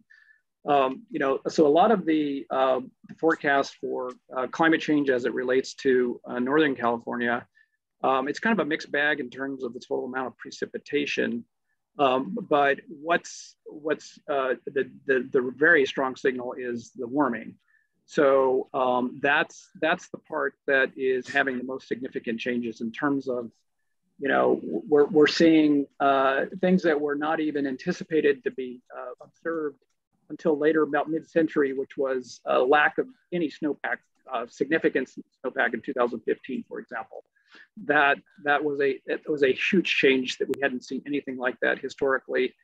Um, I think what we saw last year, for example, um, in terms of uh, the low efficiency on the snowmelt, um, uh, both in terms of, of evaporative and and uh, you know very parched soils, or were you know very large losses to that snowpack. Uh, we saw very little runoff. Um, the so the so what we're really seeing already, not only was it forecasted uh, as part of, of climate change, but just the observed record uh, since really pronounced since about the year 2000 is just the warming trend that we've seen. And so that one, um, we don't need models to, to even uh, indicate that there's a change there. We, we, are observing it and that's, that's having some profound um, effects in terms of the actual, not only the timing of runoff, but the amount of runoff that we would expect to see from a given amount of precipitation. So precipitation itself, um, it's you know, unfortunately, it, it, will continue to be a challenge in terms of its variability from year to year. Um, but what we, the, the known, one of the, one thing we do know though, is that the, the warming uh, that we have experienced is going to change those runoff patterns. Thanks. Can I ask another management related question? Uh, so I'm also curious, you seem a little frustrated that you have to do these initial allocations in December. Has anyone ever looked at how uh, your final allocations relate to your December allocations and and you know how accurate are they? And then given that, has there been any discussion of changing when you do your initial allocations? Yeah, so um, so the uh, initial allocations done in December, and I, and I said we use typically we will use a conservative estimate uh, for precipitation for the remainder of the year or runoff uh, for the remainder of the year. And typically we, we use uh, the 90% exceedance uh, as a rough guide of, so this is, you know, we're assuming, and this is based on historical trends, uh, based on, uh, you look at the 100 year history, we, we take a look at 100 different traces uh, for the remainder of the year. Um, we look at uh, the runoff that would be achieved uh, that from uh, precipitation that, that exceeds that amount by 90% of the time. So it's, it's the lowest, it's the driest, 10%. Um, and so what we would expect is, since we're making a fairly conservative uh, estimate on, on their future runoff, that we will not have to, the, the allocation level that we set will be good 90% uh, of the time. And that there will be though 10% of the time that the water doesn't show up and we would have to reduce that allocation. And that, that, that's pretty close to what we're, we're observing. So um, we, there are instances where we do have to make reductions in the allocation. Last year was a good example. We started out a 10% allocation to the State Water Project and we we had to cut it early spring to 5%. So, um, you know, last year was a really good example of, of the uh, hydrology turning uh, dry, very dry on us. And I mean, it was a dry year to begin with, uh, but we ended up seeing the, the driest uh, April through June, uh, well, really April through uh, September period on record, the warmest and driest. And so that, um, that had an effect. But yeah, that that's that's the management uh, decision is is um, the policy decision right now is to to to uh, make uh, um, allocation decisions based on 90%. Thank you. Okay, Tom. I, this is a question to both of you. Uh, assuming the conveyance structure is built, what are going to be the biggest changes in the uh, operation of the water system in the Delta? How, how will it impact your operations? Yeah, so I think the best way to uh, to answer that is if you recall the one slide that I had up in terms of how the water supply is developed for the State Water Project. And um, in the, uh, maybe I can bring that up, Let's see. Um,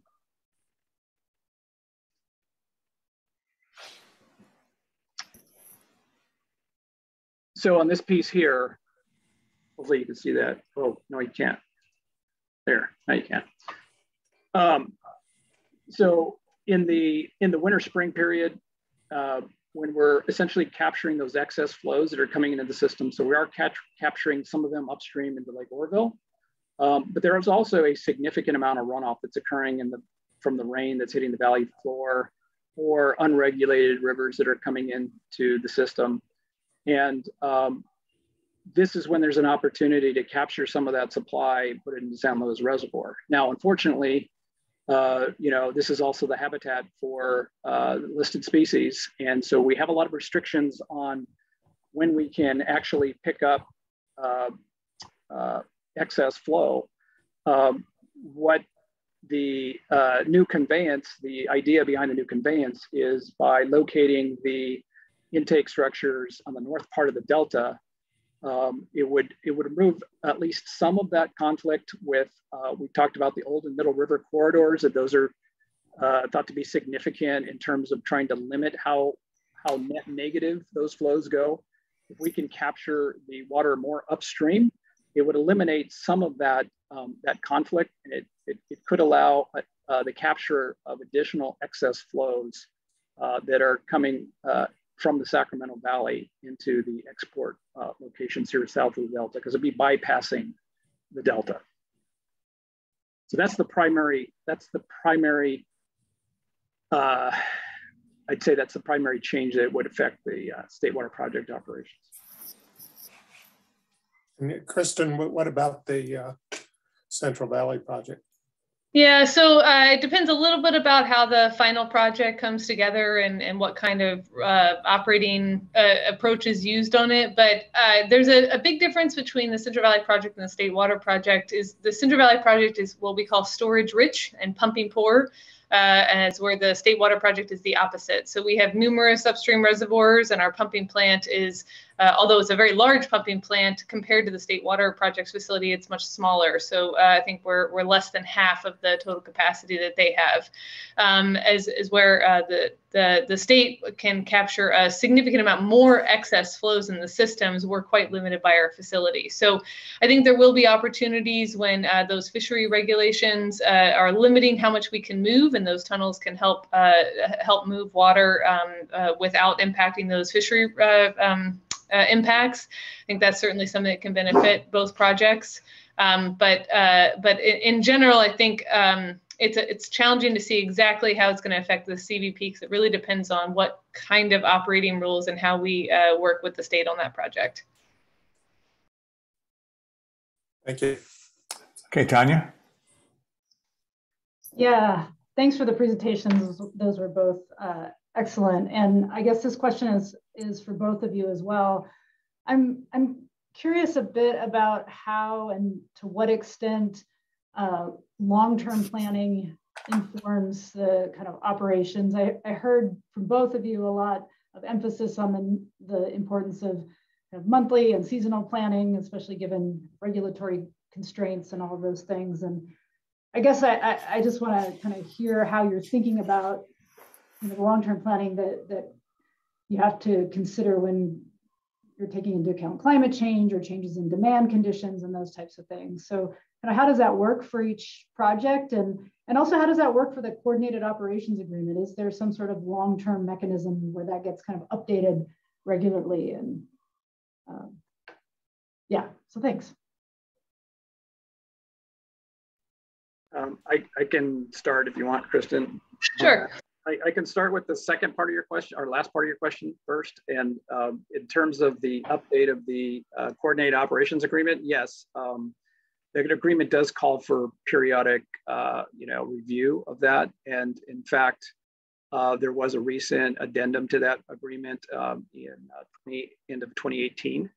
Um, so uh, yes, this is something that we do do take a look at uh, uh, periodically, especially if there's significant changes to um, the regulations that we're operating to, um, or actually, I would say um, any other observed uh, changes that we see in the system. Um, and I think one of those one of those changes has been the more extreme um, conditions that we've seen of late, um, both in terms of, of, you know, as Kristin said, the wettest year on, on record, uh, 2017 uh, was, you know, shortly followed um, the year with no snowpack, 2015, uh, 14 and 15 were we thought was, you know, kind of a once in a generation type event. And yet here we are, uh, we just got through uh, 2021, which was in some, in some respects drier than what we saw 14, 15. Um, you know, so I think there's a number of efforts in terms of responding to this in the long term.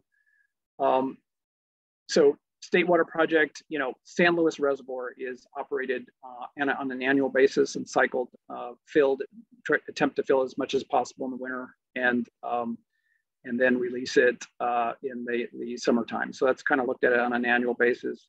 Um, Lake Oroville is is looked at more of a, a longer term, um, but it's really it's really a trade off between kind of water supply reliability one year uh, versus kind of long term yield. Uh, those are those are those are two kind of two two trade offs. Um, but in light of uh, 14, 15, um, uh, we did decide to make some um, some changes on our carryover storage, for example, at Lake Oroville. We're we're uh, relying on uh, you know carrying over more to protect against these kind of 14, 15 type events. And in fact, that's that's something we put in play just prior to the last two year period, and um, uh, it was still a struggle. Um, so uh, the other things that we're looking at is, uh, so I talked a little, bit I touched a little bit on this forecast informed reservoir operations.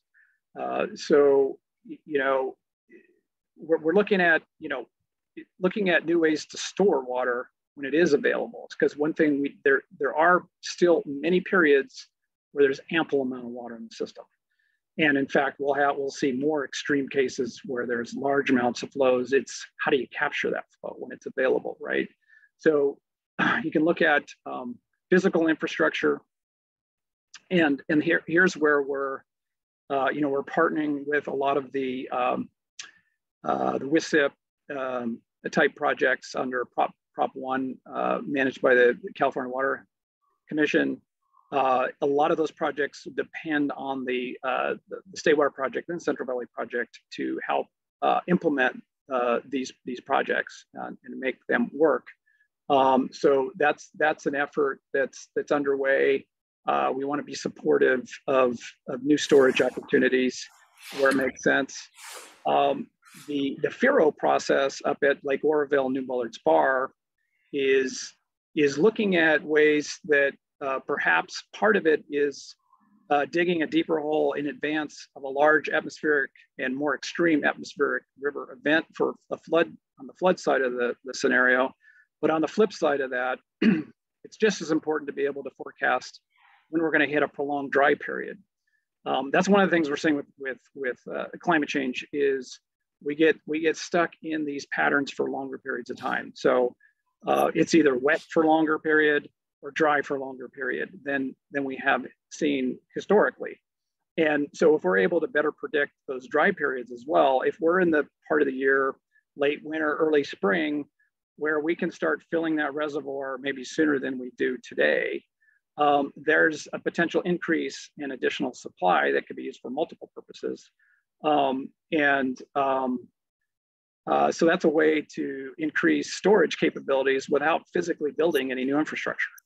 Um, so that's just changing the operating rules at the reservoir. So that's kind of a software change rather than a hardware change, if you will.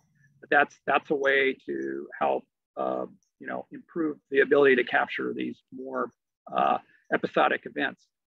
Um, and groundwater storage is certainly uh, another another one. And a lot of the WSIP projects are groundwater uh, storage facilities that will interact directly with some of our state water contractors. Uh, will be partnering with these um, these groundwater storage uh, proposals uh, up and down the, uh, the California Aqueduct, um, and uh, so we will help facilitate the the recharge of those facilities and then the extraction during the drier periods. So um, those are all so those are all activities that are directly related to, uh, you know, the increased um, struggles that we see uh, in, in terms of pairing up that supply with the demand. Um, and uh, this is this is where all of our, our attention is now. Yeah, maybe I'll add a, a couple things to that, and I, I, second everything that John said. Really looking at, at other projects and other ways to um, to incorporate storing that wet time. The, that that uh, wet year water is really um, kind of the the biggest buffer. When we think about reclamation projects across the state, it's it's uh, the Central Valley project is um, is provides a very critical water supply for a critical food source. And it, I think sometimes it gets lumped in with some of our other projects, such as the Colorado Basin, where we have uh, Hoover and Glen Canyon dams. But our our storage is basically nothing compared to what kind of storage they have there. So, for example, Shasta Reservoir, our largest reservoir, is only four and a half million acre feet, as where uh, uh, Hoover and Glen Canyon are over 50 million acre feet. I mean, they're just uh, just significantly larger uh, amounts of storage, and that affords them the ability to really look more long term and kind of make those uh, software adjustments, as John mentioned, to try to account for things as they're changing as where our reservoirs are much smaller. They uh, they all work together, but they each have their own unique characteristics, and uh, and so our operating window is is is significantly smaller. So we used to say that Shasta is a three-year reservoir, meaning it can be relied upon to get to a, get through a three-year drought. Folsom is a one-year reservoir, meaning it can be relied on for one dry year. But there's not enough storage to go much beyond that. However, over the past uh, 30 years or so, uh, the uh, with the endangered species, um, with the winter run endangered species that have been listed, there has been a significant focus on uh, on temperature management in Shasta. We had a temperature control device constructed in the 90s. And so because of that, uh, that really limits our ability to pull that pull that reservoir down too low. Um, so like for example in 1977 uh, which was the drought sim- most similar to last year that reservoir got pulled down all the way to i think it was about 500000 acre feet um, so it's of course we'd like to keep it higher than than it ended last year, um, but there's a big difference in uh, in how it was managed prior to that to those uh, species being listed versus today. Um, and so what that's done is really limited that operating window now of what you can operate Shasta within, and going much higher than that uh, bumps you into that flood risk right? So, uh, so we find that if we end the reservoir too high, all we're doing is increasing that risk and increasing the impact of, of storms that are that are uh, that could be coming in the um, in the winter. And what we're seeing with climate change, as John mentioned, is that we can expect to see more extreme events, meaning that those very large warm storms could be coming in more frequently, which means that we need to be prepared for them. So there's a huge risk then to ending a year with very very high storage in case the next year is dry. So it's certainly a balancing act. And I think given the tools we have right now, it's a it's a major challenge to just do software updates to do that. I like that term, John. I'm to steal that. um, I think really looking at um, how how can we uh, kind of th- thinking about the three movements of water. How can we get better at moving water from those wet years into dry years? Um, because uh, we just don't. Um, our, our, current capacity and our current facilities uh, are are quite limited. Let me ask a fishy question or two.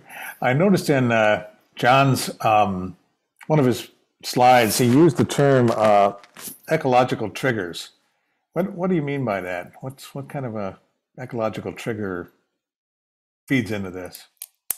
Yeah, so, so a couple of triggers um, would be flow. One would be flow, um, and uh, so for example, one of our actions uh, can be triggered by a certain flow threshold uh, coming into the, the, the, delta on the Sacramento River.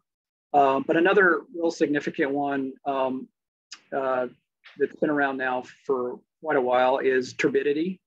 Um, if we uh, if we observe a certain turbidity level at uh, you know key stations uh, within the central delta, that also is an indication that um, uh, in this in this particular case, delta smelt um, habitat, it, it, it, they would typically follow the turbidity during their life cycle. Uh, when the adults are, uh, when they move upstream, they will follow the turbidity. And if the turbidity moves as far up and into a location that would put it at put their uh, their larval at, at risk later in the season, um, that's that's the reason for the uh, moderation of the exports is to prevent that turbidity uh, condition from getting uh, too far, too, too close to the project pumps so that there would be that increased risk uh, later in the year to the offspring of, of the adults. So that, that's, a, that's a couple examples. Um, I don't know, Kristin, is there, do you have any or? Yeah, um, one other, uh, so the Delta cross channel gate is kind of a, uh, um, that's a, a significant piece of our salinity operation, but it certainly can have major impacts to fish when they're moving past the Delta Cross Channel gates. So we do have certain time periods uh, where where closures are required based on um, uh, fish that are caught uh, in certain areas. Is it fair to say that the uh, that these I want to call environmental uh, conditions are largely tied to endangered or listed species? Or exclusively tied to them? Um, I would say primarily, I'm just trying to think if exclusive is, is right. Um, um, it's hard to ever say for sure, but yeah, yeah they're primarily they're primarily tied to uh, protections for endangered and listed species. Yeah. Yeah, I think pr- primarily there are some uh, indications that we get uh, from other species, such as fall run, um, that can trigger modifications to operations. Um, particularly at, uh, at Shasta, we've been trying to modify um, basically our fall operations, trying to limit, um, trying to trying to get our minimum flows uh, kind of achieved as quickly as possible without negatively impacting the winter run, so that the fall run don't um, don't spawn at, at higher levels that then get dewatered as we go down into a minimum winter flow. Um, and so there's a lot of monitoring that goes on looking for where those fish are to try to inform that operation. But, uh, but pro probably primarily those listed species. Okay, thanks. Jay? Thank you very much for those really excellent presentations. Um, the water system here is, is pretty complex and, and it extends to, to thousands really in the end of, of retail water systems and, and quite a few other wholesale systems. Quite often the, the large projects that you all operate uh, are supplying wholesalers that provide water to other wholesalers and to retailers. How much, how important are the operations of all of those other uh, customers of yours and their ability to manage water and store water and their own independent sources in the overall success of the system? Well, well, I, I can speak uh, maybe a little bit to um, some of the state water project uh, customers and, and, and, wholesalers, as you said, uh, like Metropolitan Water District of Southern California. So I think that you know, so they certainly have their experts and they uh, they monitor the project operations very closely, and I think a lot of their decisions in terms of their investments are are based on the, the limitations that they're seeing on the uh, um, state water project mm-hmm. operations. So so for example, you know, Metropolitan has invested heavily in some of their uh, local uh, storage. Uh, so Diamond Valley Reservoir is a good example of that. So, you know, they think they recognized early on that um, uh, there's going to be a very a more dynamic, as I showed in the one chart. Uh, you know, in the past we were always always able to meet 100% of the requests, and that became became pretty clear that that's not going to continue to be the case. That it's going to be feast or famine, and uh, so they want to be prepared. They want to invest in ways that they can capture the uh, feast years, and so that's the reason that they've invested in um, both groundwater. Uh, I think Hayfield uh, groundwater uh, basin is a good example of a groundwater storage facility in their in their uh, district, and Diamond Valley is a, a, good example of surface water. Uh, same for Kern County Water Agency. They've invested heavily in um, their. Uh, they have a high capacity turnouts off of the off of the California Aqueduct in terms of being able to capture more supplies to recharge their groundwater basins uh, during the very wet years so that they'll have, uh, you know, help, help the sustainability of that groundwater uh, program down there. And so they've really reacted to uh, what they see as the limitations project's ability to reliably deliver water on a, on a, on a year-to-year basis. So um, that's just a couple examples of, of, you know, how, how some of our, our, our largest wholesaler customers have, have responded. Yeah, I'd say when we get into these drier years, uh, there it's critical um, uh, how they manage their water supply. I'll, I'll give a couple examples. Um, how uh, some of our agricultural areas are managing their groundwater is very important because it, it dictates how much groundwater is able to be used uh, uh for meeting some of those supplies, um, which then affects how they would look at uh, and how they would um, prioritize surface water supplies, especially when it comes to senior water rights uh, or riparian water rights that that are not um, they're not under our allocation structure from the project. So, so the more that they can be relying on those groundwater supplies, the less pressure it is on the on the surface water. Um, another key area last year, uh, we had a 25% uh, municipal and industrial allocation, which is uh, uh, right around the public health and safety limit. For some for some districts, they needed more water to meet public health and safety demands. And the way that we define public health and safety demands is the amount that's necessary to meet certain uh, minimum demands after accounting for all the other water that they have. So how much they've been able to store in their other facilities, uh, or how much they've been able to put into a groundwater bank, or or any other tools, or how much they've been able to lower their demands, all play a critical role in what we're delivering now for public health and safety. And so, uh, if we have a, a, a, district that is asking for public health and safety, and they have their surface water reservoir, for example, uh, uh, is having a, a, challenge where they can't store water there, now that's a huge impact on on what we're doing because now it changes how much we need to supply them just to meet some minimum public health and safety. So it can certainly matter quite a bit uh, when we get into these uh, drier drier and drought years. Thank you very much. I had one little question, uh, just sort of geeky. There's been a huge change in the uh, electricity prices over the last decade, really, with uh, solar power providing a lot of uh, relatively cheap electricity uh, during the daytime. It sort of turned the the daily pattern of, uh, of energy prices on its head. Has that changed your operations much? Yeah, I can speak for the CVP. Um, so it doesn't change operations on a on a daily or certainly a weekly basis, um, but it certainly changes. Uh, we when we're releasing from a major facility such as Shasta, uh, and that's going into a regulating reservoir such as Keswick Reservoir, right? So the water to the river is maintained by Keswick, so that stays constant. But we're fluctuating Shasta based on what those uh, what those um, uh, power prices are throughout throughout the day. And so it certainly changes that as to where uh, I think we used to have a little bit more stability. Now with solar, there is a huge amount of solar in the market, but it pretty much goes offline at three o'clock. so mm-hmm. so then there's a massive demand at three o'clock. And so that's been a big challenge, especially when we get into these extremely high demand situations that we were in this past summer and that uh, and that we were in, I think the year before that as well, where we're trying to constantly adjust and backfill where that solar is, which is certainly a different situation than we were in producing power, uh, you know, 10 years ago. Yeah, and I'll just add from the state water project's perspective, yeah, it's recognized there's been a you know very significant change in the in the pattern power pattern. So, you know, uh, prior to all the renewables coming online, it was it was much more predictable in terms of of you know high prices right during the middle of the day, um, and uh, low prices during the night. And so, you know, like clockwork, uh, pretty much the same schedule.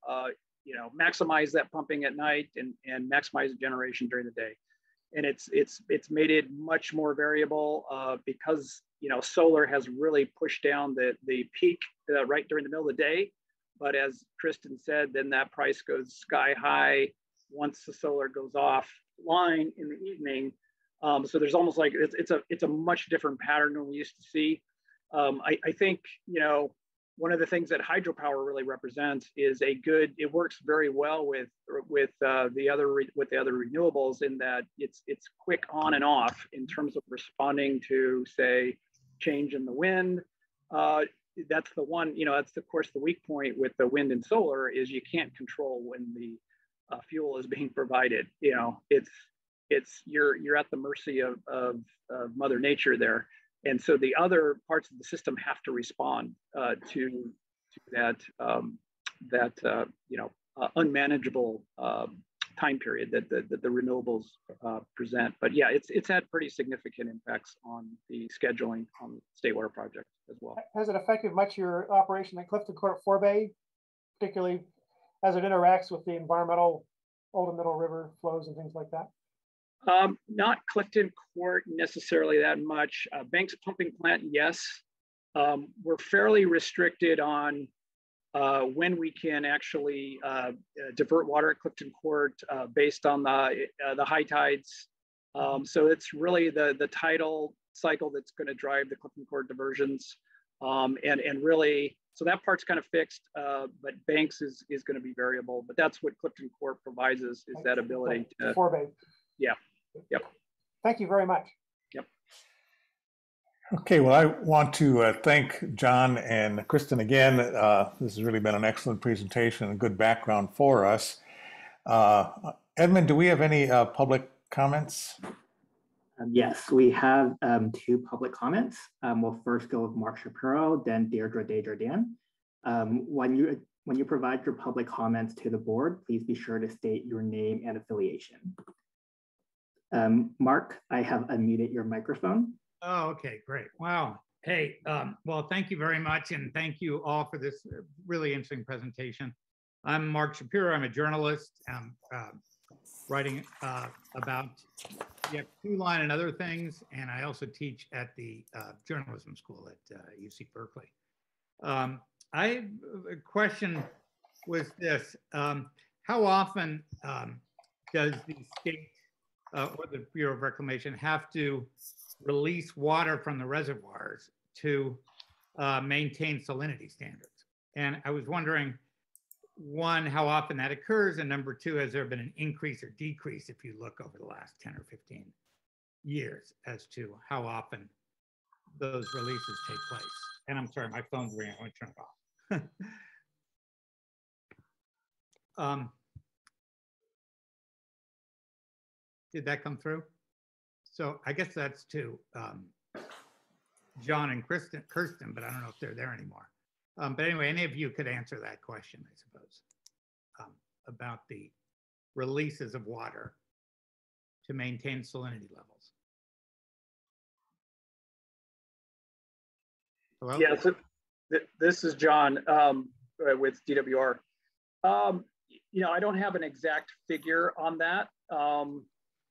I I, I, guess the only thing I would say is because we've seen a kind of a disproportionately dry period over the last 20 years, um, you know, it's probably uh, more releases for that purpose, uh, uh, just because of the nature of the, the way the hydrology has has uh, has been. And the drier years are the years that we're typically needing to make those kind of releases to meet salinity.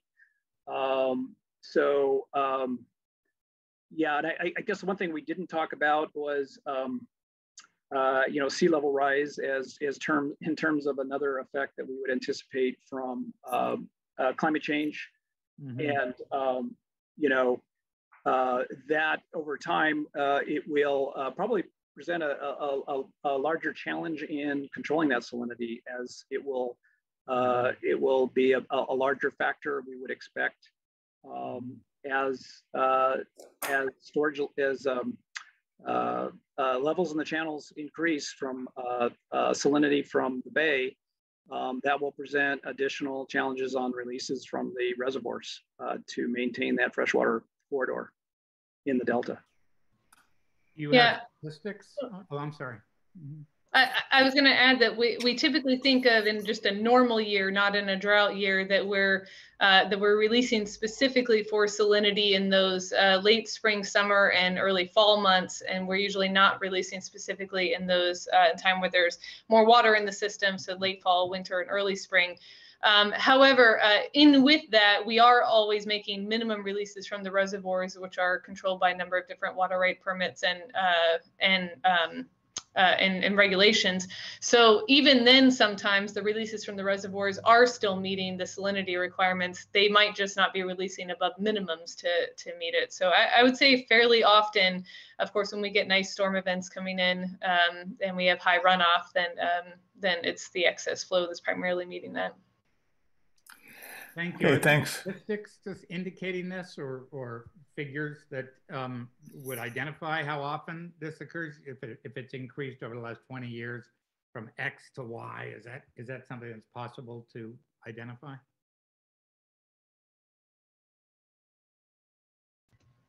I'm sure it's possible. I don't have that today, um, nor am I sure where where the best source of, of getting that would be. Um, PPIC had a report come out in 2017 that looked at some of that uh, statistically. Okay, thank you. Okay, thanks, Mark. Uh, move on to the, uh, you said Deidre? Yes, Deirdre is next. You, uh, your microphone has been muted, Deirdre. Oh, thanks. Deirdre Des Jardins with California Water Research. And I again, wanted to say this was a really excellent uh, presentation. I did want to provide some essential history on the coordinated operating agreement that even operators might not know. So the original applications by the US Bureau of Reclamation to the State Water Resources Control Board assumed that the Central Valley Project would get the entire unimpaired flow of the Feather River which uh, was estimated recently at about 4.4 million acre feet a year on average. After this came out in the 96 hearing, the board recessed the hearing and urged the Department of Water Resources to work out an agreement with the US Bureau of Reclamation. Um, DWR and Reclamation worked out an agreement to share the obligation for storage releases for in-basin needs of 25% for the Department of Water Resources and 75% for US Bureau of Reclamation. The project also agreed to share shortages because they knew they weren't going to get their full water supply. The agreement was amended in 1986 and again in 2018. The 2018 addendum states that in a third dry and critically dry year, DWR and USBR will meet to discuss additional changes to the percentage sharing of responsibility to meet in-basin use. Um, there's so there's no formula worked out for this year if it's a third dry or critically dry year. And your esteemed colleague, uh, Dr. Lund, uh, did do a insightful blog post uh, um, that the drought might continue. And uh, Daniel Swain is one of the best climate scientists in the state, also uh, had some stuff about forecasting, which I put in a letter to you. We really could be there. Um, and I'm concerned that no information has been given to the water board about the proposed reservoir operations. Furthermore, although there's a lot of song and dance about optimized reservoir carryover, uh, they wouldn't refuse to provide either the forecast operations or the modeling. Even though we know that they do long-term modeling, um, we can't get it to look at it uh, and, and it's not, it may not be provided. Um, the, the, depart, the projects did ask for environmental flow standards to be waived last year. And they've got another petition this year, and it's very, very bad for fisheries uh, and for Delta water quality. And uh, it, it's really important to have outside experts and peer review to look at um, these, there's very complex reservoir operations models. And I will tell you, uh, you know, I did graduate work I, when uh, nonlinear forecasting and machine learning, we do not use state-of-the-art optimization models reservoir forecasting. And there was a really good state-of-the-art system that was funded by the CPUC that was just never adopted. Um, and Aris Georgakakos did comment about it. Um, I put his comments in my letter, um, but it, it it's really a critical issue for adaptation to climate change. There's really good forecasts available. There's, it, there's a lot of really good science on multi-reservoir system optimization. And although this sounds good, um, the, you know, it also would really benefit um, from uh, have, letting stakeholders take a look at the modeling and having peer review. So thank you. And Thank, thanks, Deirdre. Um, I see that uh, Diane's back. Diane, I know you had a, your hand up before. Do you have a question, burning question? Yes, and I, I don't know if Tom asked this question for me. I was uh, really interested in knowing some more about the relative importance of evaporative losses between the Central Valley project and the DWR project and how, um, if there's any estimates of how those have changed and uh, are they primarily in the reservoirs or in the canals or um, just a general overview of evaporative losses. Did, did Tom already ask that? Uh, Bob asked a very similar question about getting getting okay. those in.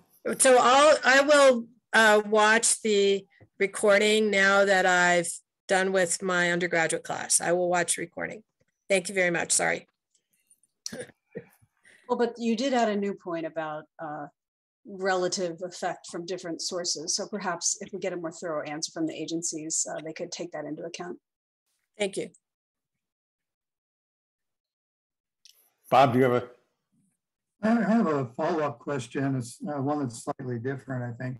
There is very little, if anything, said in the presentations about water quality.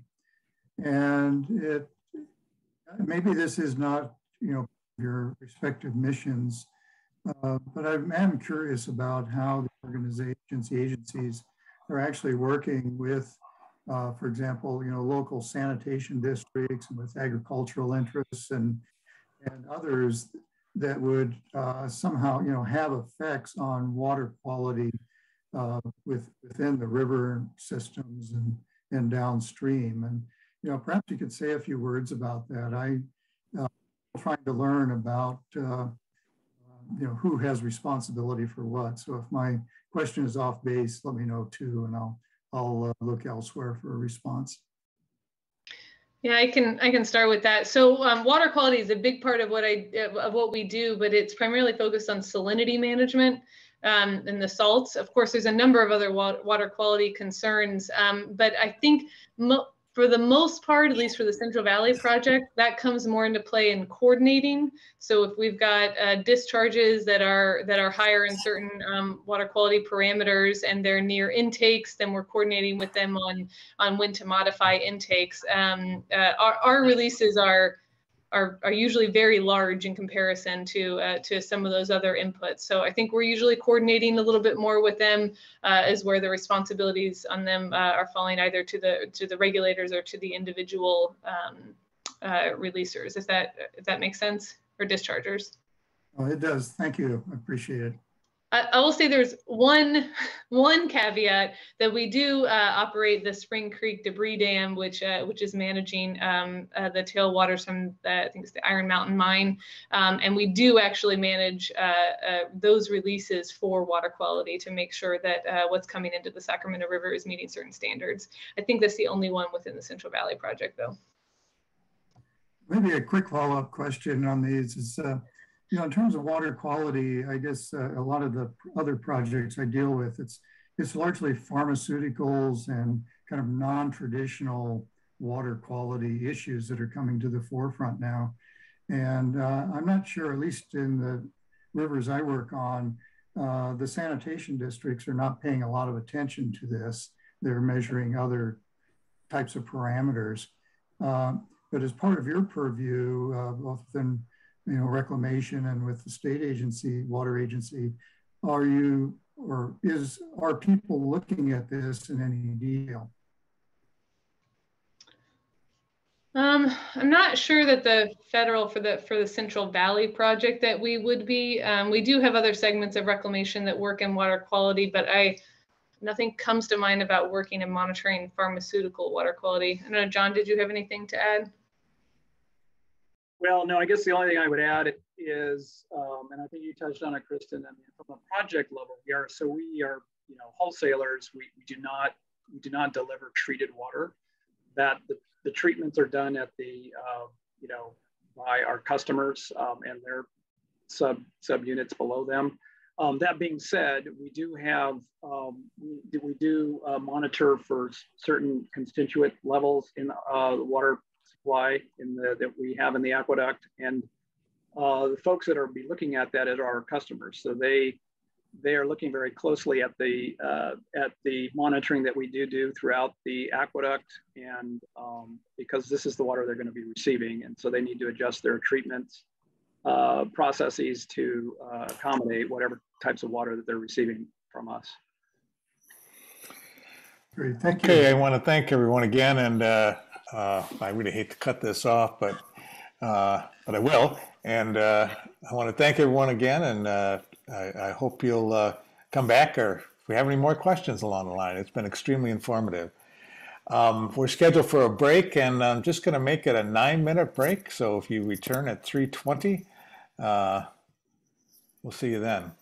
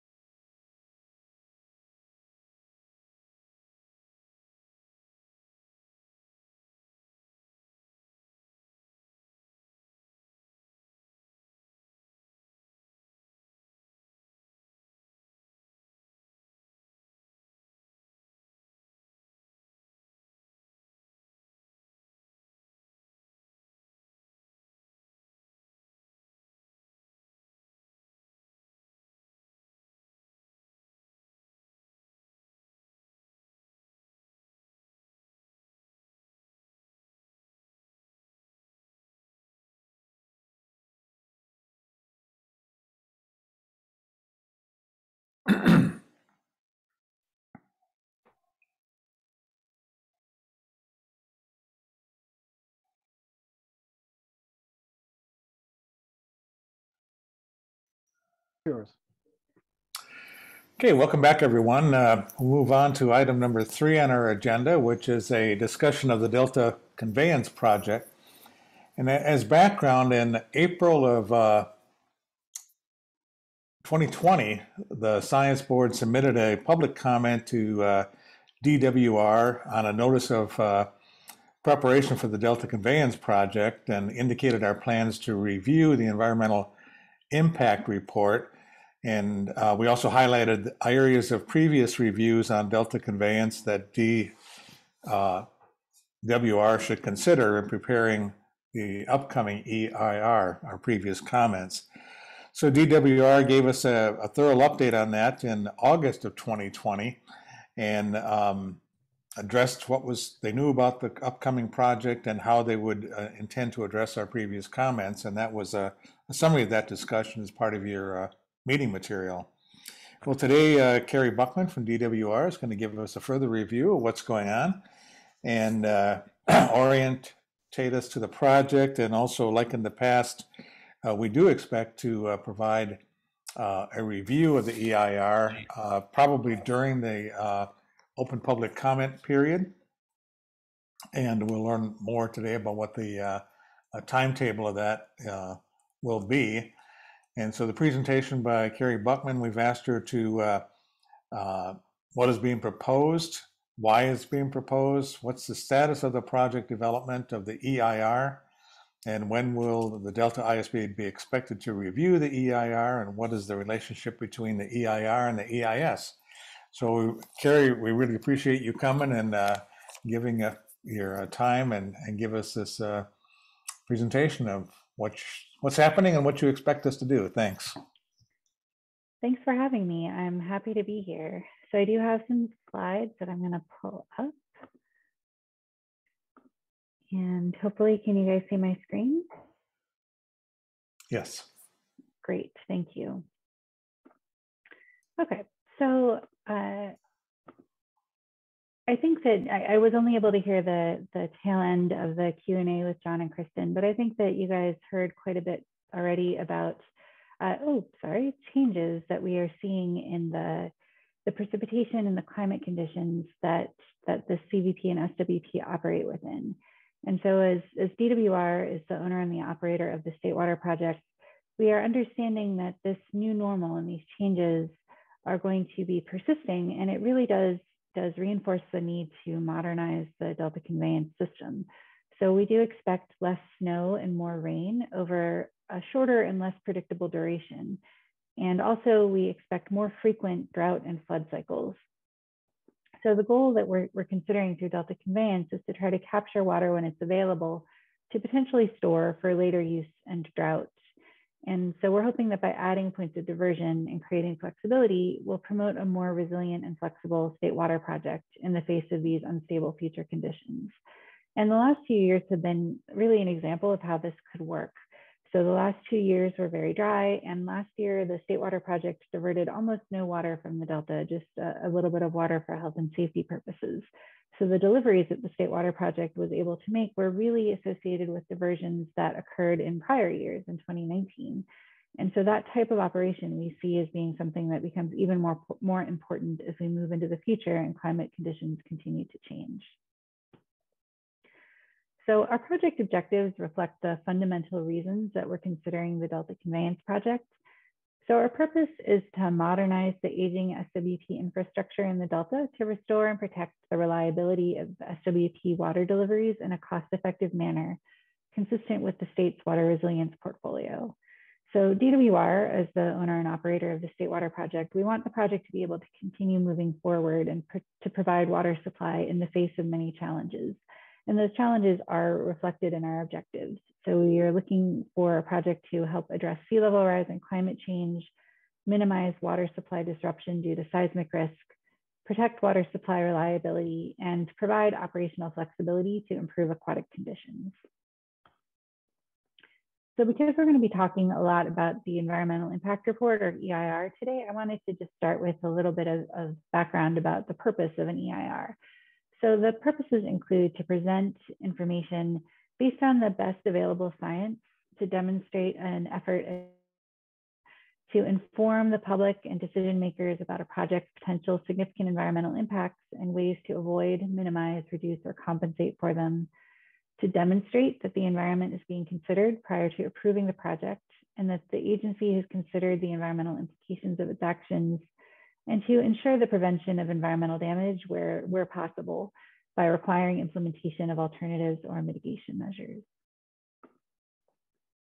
So this is a, an overview of the process that we're, we're in the middle of really, that we're going through for CEQA, the California Environmental Quality Act. So we started on line one with our initial outreach that started with a notice of preparation in January of 2020, which uh, the ISB submitted comments on for scoping. We then conducted scoping meetings and produced a scoping summary report that uh, summarized the process we went through and included all of the comments, including written comments and uh, verbal comments received during scoping meetings. And we also developed an agency outreach plan. Uh, they, we then moved into the project definition phase, where we identified alternatives and further defined those alternatives. And that work was done uh, in collaboration with the Delta Conveyance Design and Construction Authority, who formed a stakeholder engagement committee to help identify ways to avoid effects to local communities through a design and construction process. Uh, so we took those alternatives and we started working on technical reports to help understand the technical aspects of the potential effects of those alternatives. And we're working now to analyze the impacts of the alternatives based on all of that information and where appropriate, uh, include mitigation. So our next step is in line three, we're going to be turning all of this into a draft EIR for release mid, mid 2022 we will then circulate that EIR, uh, solicit comments, and have public meetings to collect comments. And then finally, we will respond to those comments, make changes in the draft EIR, uh, select a preferred alternative, and release a final EIR and make a decision and a notice of determination.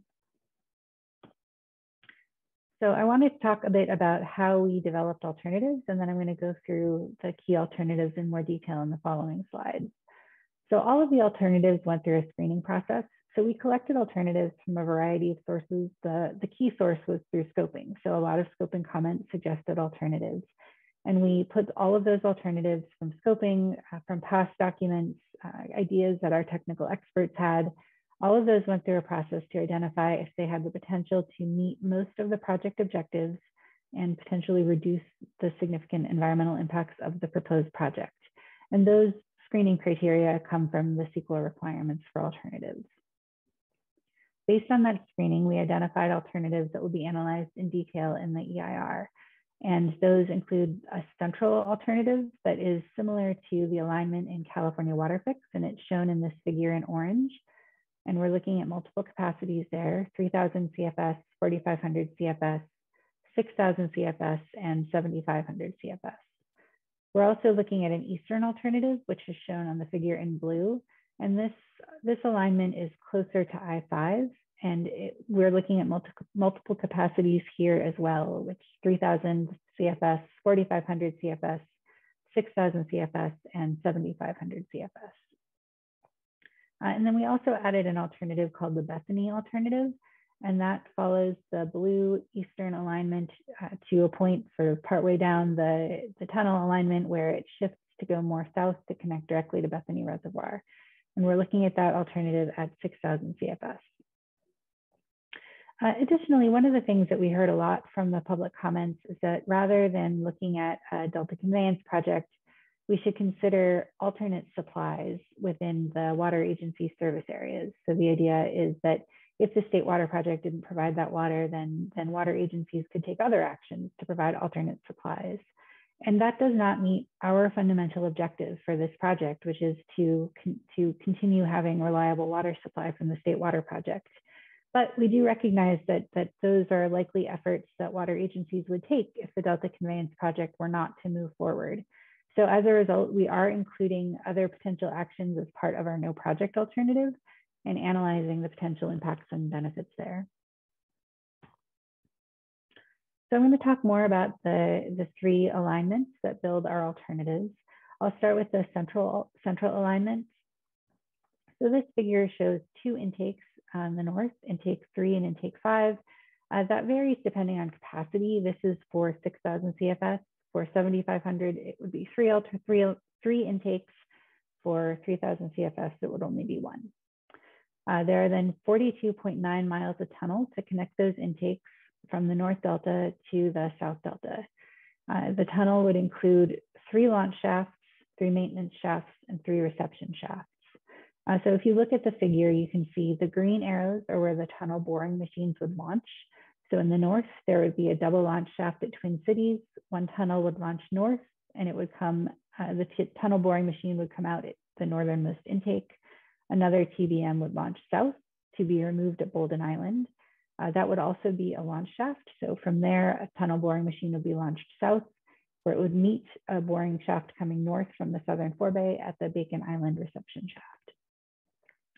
So this tunnel would connect the north, northern delta intakes to the southern, southern facilities. Uh, at the southern end, there is a pump station that would pump the water from the tunnel up to the surface. And then there would be a southern forebay that would help re-regulate the flows that are coming up from the pump station, from the up from the tunnel through the pump station.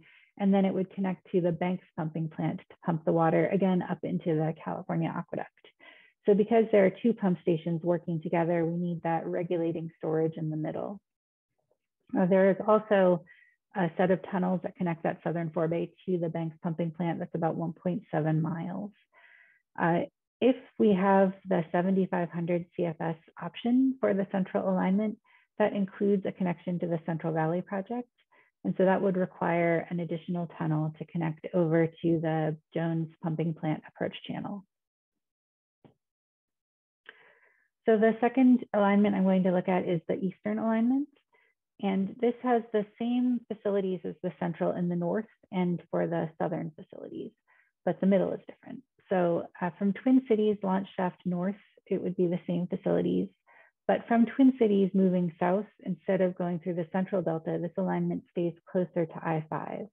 And the idea there is that uh, it might simplify logistics so that that the construction traffic doesn't need to go into the South Delta. Also, there are higher ground elevations and better shallow ground conditions for the, the tunneling through the ground. This is a longer facility or a longer alignment. There are 45.6 miles of tunnel, and there are three launch shafts, four maintenance shafts, and three reception shafts.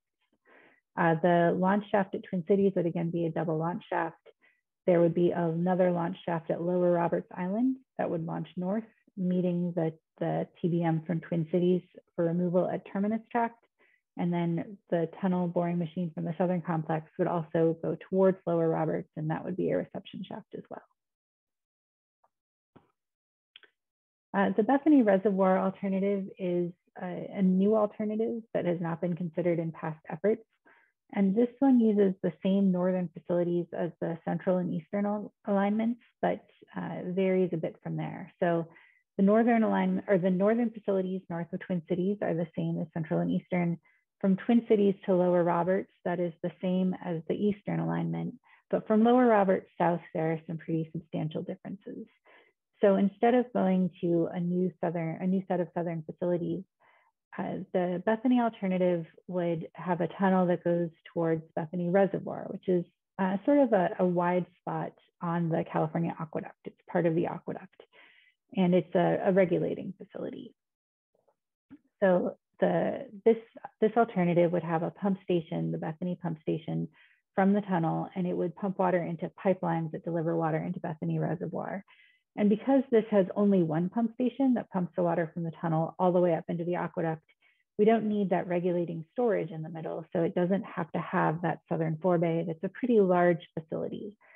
So uh, this alternative includes 44.6 miles of tunnel. There are two launch shafts instead of three. So there are two double launch shafts at Twin Cities and at Lower Roberts. Then there are five maintenance shafts and three reception shafts. And then from the pump station, there would be about three miles of pipelines, and there would be four pipelines going in parallel up to the Bethany Reservoir. So when we published our notice of preparation in January of 2020, we identified the proposed project as being either a central or an eastern alignment. And since then, we have changed, we recently changed to the Bethany alternative. So what we're looking at is identifying the Bethany alternatives as the proposed project in the draft EIR. And the reason, you know, the idea of alternatives analysis in CEQA is to consider a range of alternatives that have the potential to reduce significant environmental effects. And we found, in fact, that the Bethany alternative does reduce effects for wetlands and waters, which are really important, uh, not just for CEQA, but also for Section 404 permitting with the Corps of Engineers. So because the Bethany alternative would have less, less effect, we are changing our proposed project to the Bethany alternative. And we sent a letter to the Corps of Engineers to indicate that, to amend our 404 permit application and make the application consistent with how we're identifying the proposed project in the draft EIR. Uh, we do have more information on our website and the links in this presentation work, so you can look at the letter we sent to the Corps, as well as a Q&A that describe uh, in more, more detail why we're looking at this. But I did want to just mention a few caveats. We're changing the proposed project, but that doesn't mean that we've made a decision. CEQA case law requires that we include a proposed project in our draft EIR. And so it just represents our current thinking. Right now, currently, we're thinking Bethany uh, would reduce effects compared to Central or Eastern. But we recognize that the public comment period could bring new issues to bear. And so we're not making any, any decisions on which alternatives to implement or to implement the project at all until after the public comment period is complete and we've responded to and addressed those comments. So I've talked a little bit so far about the facilities that are included in the Delta Conveyance Project, and I wanted to talk now a little bit about the operations. So we did this summer have a series of technical webinars, and we discussed operations in one of those in the fisheries webinar. So if anyone's interested in more information, those are on our website. And we also have a blog on our website that, uh, that summarizes the, the content of that webinar. But I'm going to summarize it pretty briefly here today.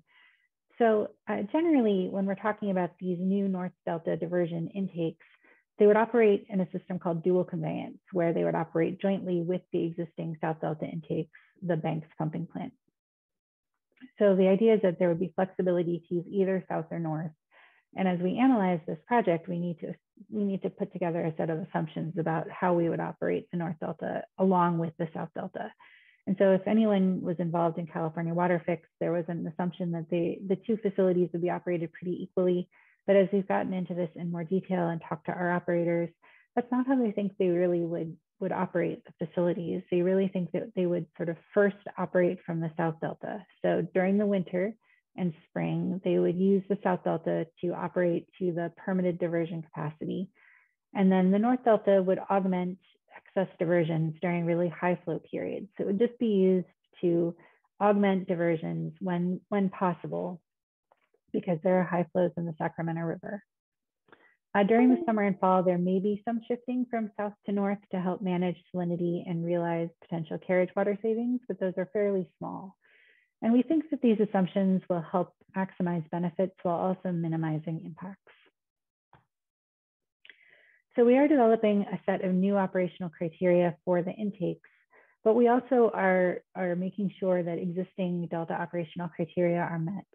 And the criteria are primarily, bet, are primarily based on the 2020 incidental take permit for uh, long-term operations that DWR holds with the Department of Fish and Wildlife. So from that, we will we, we still need to make sure that delta outflow requirements are met uh, the D1641 requirements are a little different. That's from a state board requirement. It includes the export inflow ratio and the, the new project would account for the North Delta diversion as part of the exports in that calculation. Uh, we would also include making sure that we meet Old and Middle River flow requirements and export limits from the incidental take permit. So our operational criteria are, are a starting point for analysis uh, what we're planning to do is take these criteria, analyze operations, and if we if we have effects, then we may consider either mitigation or changes to these operational criteria to try to help reduce those effects. So our criteria are to try to help um, avoid effects to fish, and they're really based on this conceptual model of how fish outmigrate through the intake reach.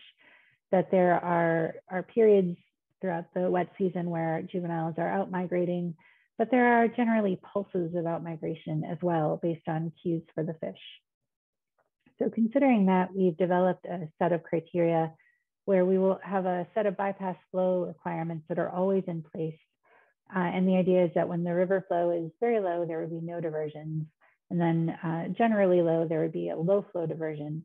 And then when the river level reaches a certain point, we can gradually increase diversions from the, the North Delta facility until flows are very high when we would meet the 6,000. I think that there's sort of a, a, perception that if this if this project were built, it would be operated at 6,000 CFS year round, and that's that's not the case. Uh, we would only be able to operate that under pretty high flow conditions in the Sacramento River. Uh, in addition, we would layer on a set of pulse protection requirements. So during times that there are pulses of fish, we would further reduce those flows to protect those fish pulses. And then the, all of the time, we would also be meeting a set of approach and sweeping velocity requirements. And these are more specific to the intakes and the areas around the intakes. The approach velocity discusses how fast the water is moving into the fish screen and through the fish screen. And the sweeping velocity is how fast the water is moving past the fish screen. And there are requirements from the resource agencies for these to make sure that the water uh, helps the fish move past the intakes and reduces near field impacts near the fish screens. Uh, so one other piece of the project that I wanted to develop or wanted to discuss is that in 2021, we've been focusing quite a bit on developing a community benefits program to incorporate into the proposed project. And uh, given that this is a program for the community, we've been working to try to get quite a bit of input and develop this in collaboration with the community. So a community benefits program in general is a defined set of commitments made by the project proponents in coordination with the local community to create tangible and potentially significant economic and social benefit to the residents, businesses, and organizations facing project impacts. And for us, the idea here is that we understand that CEQA is a pretty prescriptive process. And so the, the things that are analyzed under CEQA and mitigated under CEQA may not consider the full suite of effects that are felt by the local communities during construction of this project. So we want to consider uh, ways that we can provide benefits to the local community above and beyond what is required under CEQA. So we started with a concept paper at the beginning of 2021 uh, we then spent time interviewing community members. We interviewed about 45 community members earlier in the year and produced an interview summary report. Uh, we then held public and tribal community benefits program workshops to collect additional information and talk through some ideas. And we had a case study workshop where three uh, participants in other community benefits programs came and talked about lessons learned and how they organized their programs and we're working towards having a framework for the community benefits program, a draft included as part of the draft EIR.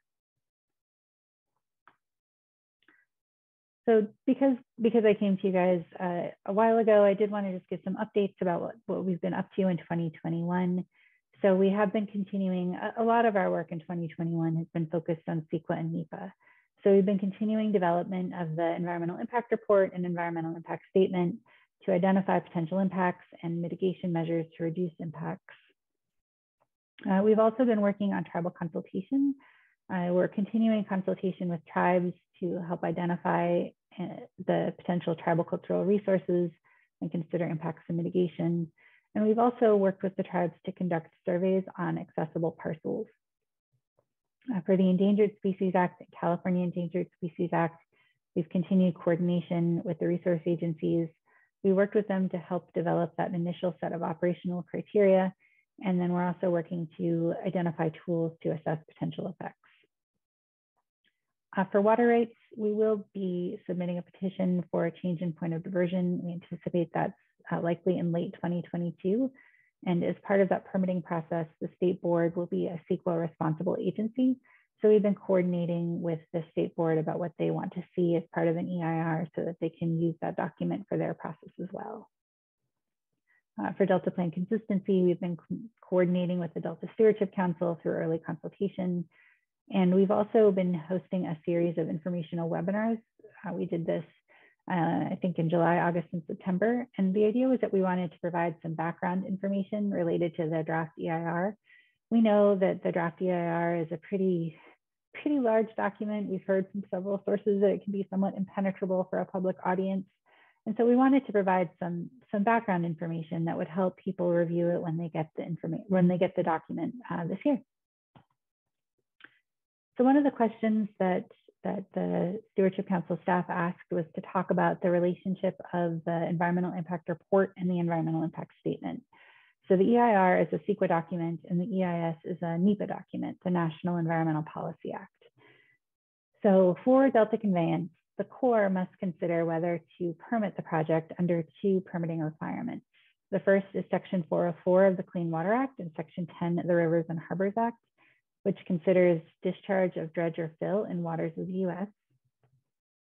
And then Section 408 considers alterations of federal flood projects. So because the Corps has to permit the project, the Corps is functioning as the NEPA lead and is developing an EIS to support their permitting decisions.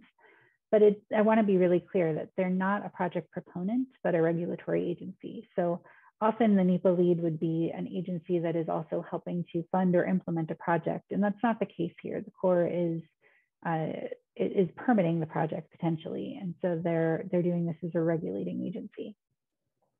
So the EIS will have similar information to the EIR, but a few key differences.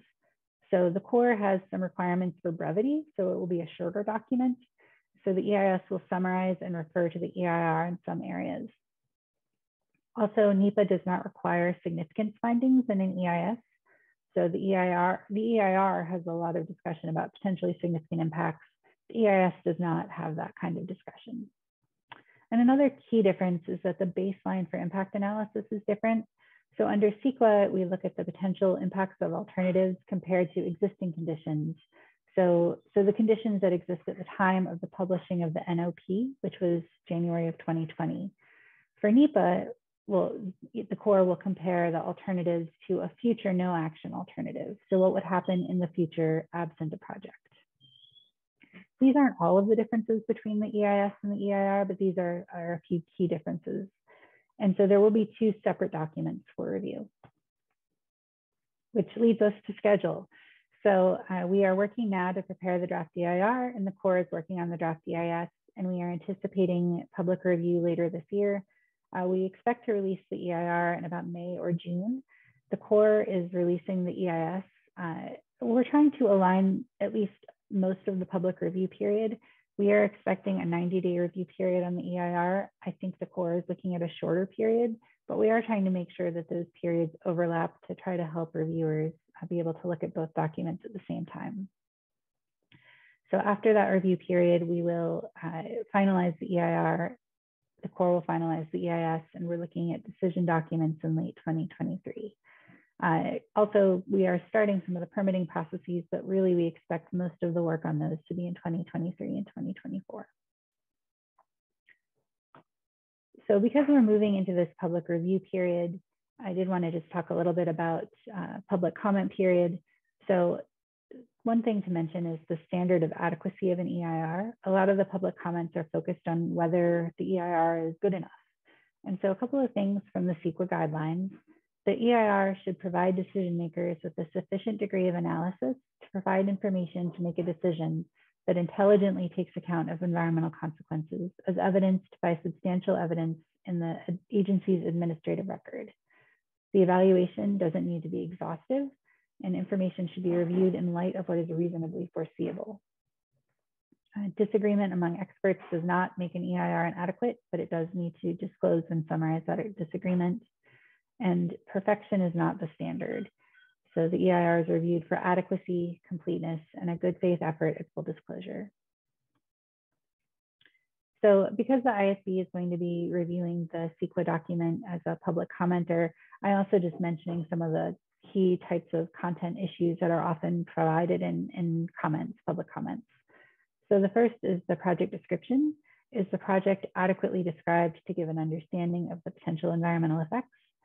For the environmental setting, uh, is the physical environment at the time of the NOP adequately described based on uh, existing and available information?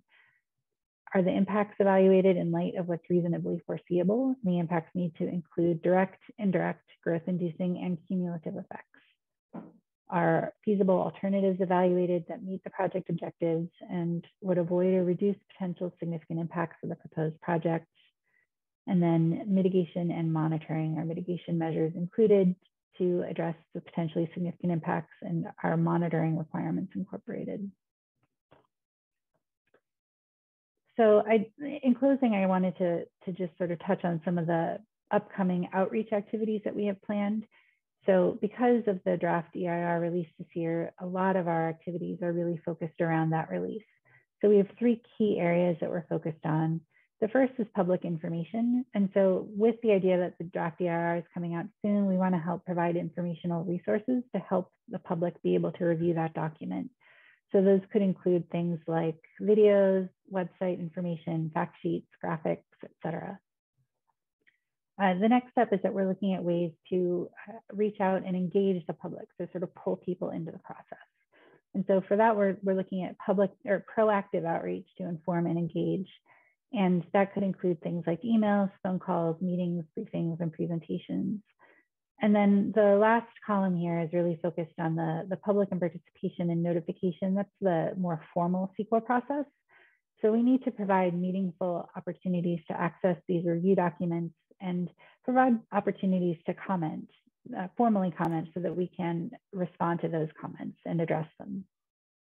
And so this could include workshops, flyers, publicity, putting information in libraries, translating materials. And uh, across all of this, we are going to be continuing our tribal consultation and environmental justice outreach processes. And just a, a, couple of links in case they will help people. And really the, the best way to stay up to date is to subscribe to our eBlast list. We send out updates probably once or twice a month. And the, the way to join that is listed on our homepage. So I think with that, thank you for the time. Well, thanks very much, uh, Carrie. I'm sure there'll be a lot of questions. I, am going to start out with three very simple questions. Uh, the first one is, um, what's the diameter of the tunnel and how deep is it buried? Okay, so uh, as the non-engineer, I will give you approximates. So it's it, the tunnel diameter varies based on the capacity. Uh, it's about 40 feet diameter and the inside diameter, but that it's smaller for some and larger for others. Uh, and the, the depth to the top of the tunnel is about 100 feet, but that also varies depending on where we are in the tunnel. So it's about 100 feet on the top and about 150 on the bottom. Okay, the, the second question has to do with the uh, scope of the EIR. Um, is the scope of the EIR going to be principally on the impact of the construction of the tunnel uh, or will it also be, uh, I want to say, equally weighted or uh, uh, on the operation or resulting changes in flow that the tunnel will cause and environmental impacts related to that? So we're working to try to capture the full suite of environmental impacts, which can in include impacts from construction, operations, and maintenance. I wouldn't necessarily talk about weighting. You know, we're not saying that one set of potential effects is more important than another, but we are trying to consider and disclose all of them. So the operational changes in flow two things will be, so operations, how you operate it is going to be a, a part of the EIR. Yeah. Okay, the final question is really simple. I expect a really accurate answer is how many pages long is the EIR going to be? and uh, I asked that for the old board, new board members, is the last one we did was something like 30 some thousand or more pages. So what's... Uh, so it's not written yet. And, you know, we just are starting to draft it. So I don't think I can answer that. But I will say that uh, you are not the first person to mention to me that the California WaterFix document was, was really uh, I'd say too long to read for most people. And so we are really trying to make a concerted effort to make this shorter and more concise and easier to get through.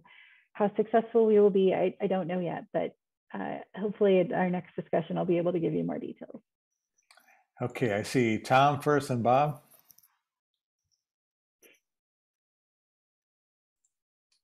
I, I have a fairly simple question that follows up on Steve's. Um, what's happening to all the uh, tunnel uh, muck or ex excavated material? So for the, the two, generally we are seeking to try to reuse it as part of project construction where that's possible. So for the central and eastern alignments where there is a southern forebay facility, uh, there is reuse of material to construct the embankments around that facility. Uh, for all of the alternatives, there is some reuse at the, those shafts need to be um, sort of built up above ground a bit to maintain flood protection. So there will be some reuse there as well. Uh, the material that can't be reused is going to be stockpiled at the launch sites.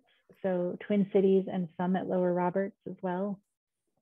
Uh, that material, uh, we do allow to be reused in the future for other projects, uh, potentially levee projects in the Delta, other projects in the, the greater Sacramento or Stockton areas. But we don't know where those projects could be. And to try to make assumptions about that would be speculative. So we're analyzing leaving it there so that we can look at the potential impacts of having those stockpiles and make sure that we disclose those in the EIR. Do you have any idea about the volume of the material? For example, if we were to compare it to the, uh, I think it's what, 1100 kilometers of levees, there's a, to raise those levees would require a lot of material. Would, would, would this material be adequate to even make a dent in that? I, I don't know the answer to that question, unfortunately, but I can follow up if you'd like. Uh, I'd, I'd be curious about the scope of the okay the spoils. Okay, Bob, then Diane. Uh, Carrie, thanks for the presentation. Um, uh, listening to you, I realized that um, I don't really understand why this project needs to take place. Uh, could you summarize for me uh, just quickly why this project is even being proposed? So the, the main issues are related to the, the future and continued degradation of state water project diversions in the Delta. So as we look forward, uh, because of, of climate change primarily, sea level rise, potential earthquake risk, and uh, changing regulations in the Delta, we anticipate future supplies for the State Water Project are going to decrease pretty substantially.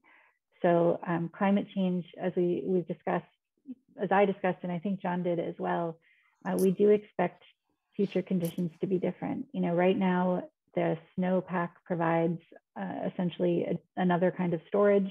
We anticipate substantially less snow in the future. So we will have flashier winter storms, more rain, less snow, and so that alone will really change the ability of the State Water Project to capture that water. So having a, a program like Delta Conveyance where you can take those high flows, those high flows and divert them will help provide a more sustainable future water supply.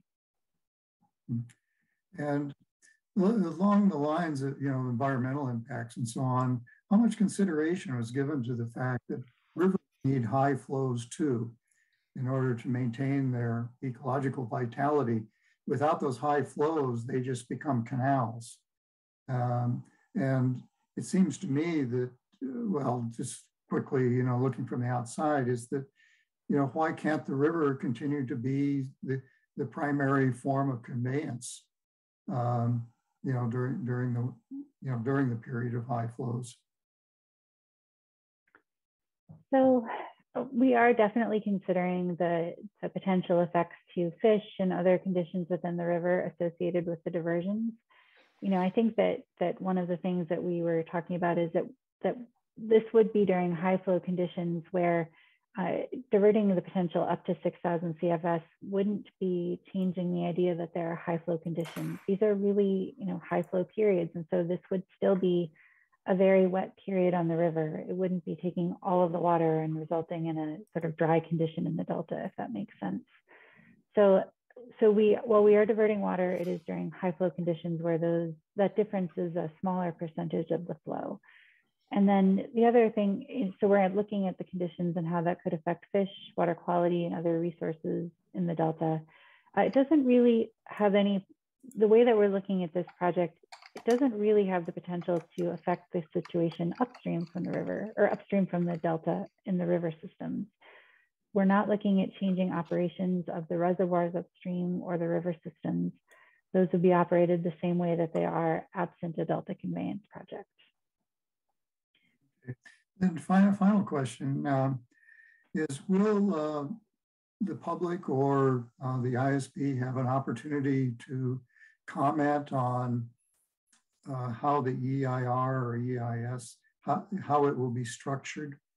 Uh, the reason I ask this is I've been involved in these in the past, and uh, boy, the bar for for both the EIR and the EISs I've reviewed have been uh, shockingly low from a from an ecological perspective.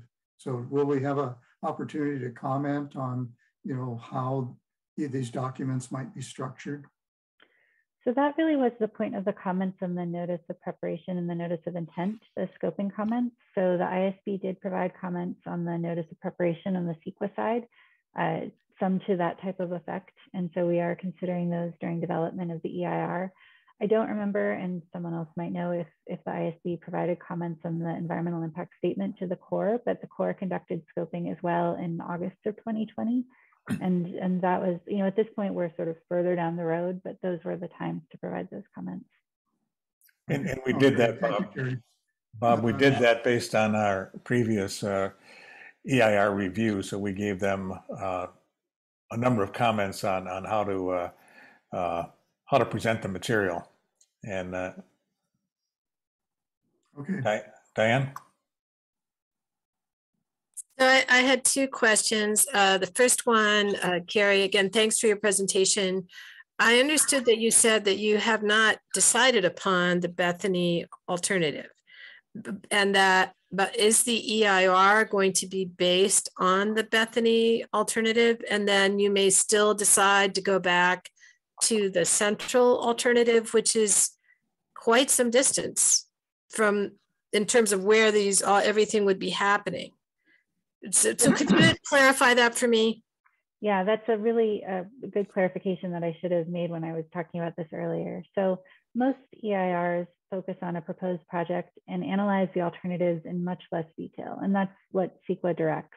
But because we're um, sort of partnering with an environmental impact statement that has to consider all alternatives at a similar level of detail, we are looking at all alternatives at the same level of detail. So while we are identifying the Bethany alternative as the proposed project, we are fully evaluating central and eastern and the variety of different capacities.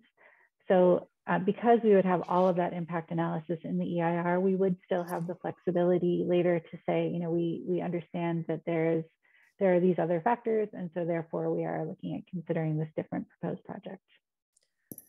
Okay, well, thank you very much for explaining that. And then my other question is can you give a general answer as to whether you envision this delta conveyance project as decreasing evaporative losses or potentially increasing evaporative losses. One of the fundamental challenges of storing high flows in surface waters is you increase the surface area of where you're storing the water, and so you increase evaporative losses. So can you uh, give us some insight as to how how that challenge will be addressed. You know, I don't know that I have a, a good answer to that, but that's something I can look into in more detail. Uh, you know, yes, we will be moving more water into storage during wet conditions, but it's also compared to a no to a condition without the project. And because diversions are changing, it's, it's kind of a complicated calculation. So I guess what I'm saying is I, I, don't think that I can conceptually answer that. I think I would need to look at actual storage information to uh, to be able to do so. So I can make a note of that as well. Yeah. So is the surface area and the time over which there will be an increased surface area and warmer temperatures, is that increasing? And if so, how much? Okay you, you, you can lose water while you're storing it is the basic problem. Okay, Lisa, then Tanya. So I have a pretty simple question that you partially answered when you're talking to Bob, but uh, if this project is, this, let me just confirm, this project is not going to decommission any other part of the existing system. Is that what you're saying? Correct. Okay, so then are you, as part of this, are you going to look at the long-term operation and maintenance budget and how it's going to affect that over the long term? So CEQA does not uh, require or want you to really look at cost information. So in terms of long-term operations and maintenance budgeting, no. uh, because we aren't looking, you know, CEQA wants you to try to make a decision based on environmental impacts, not costs. So they, it is a separate type of, of exercise. So uh, at this point, we are not. What we're looking at really is comparing how things change with our project than to what they would be without the project. So given that we're continuing to look at the potential to use the South Delta facilities in a pretty similar way that they would be used under existing conditions, we don't anticipate the Delta Conveyance Project changing substantially anything related to operations and maintenance requirements of that South Delta set of facilities.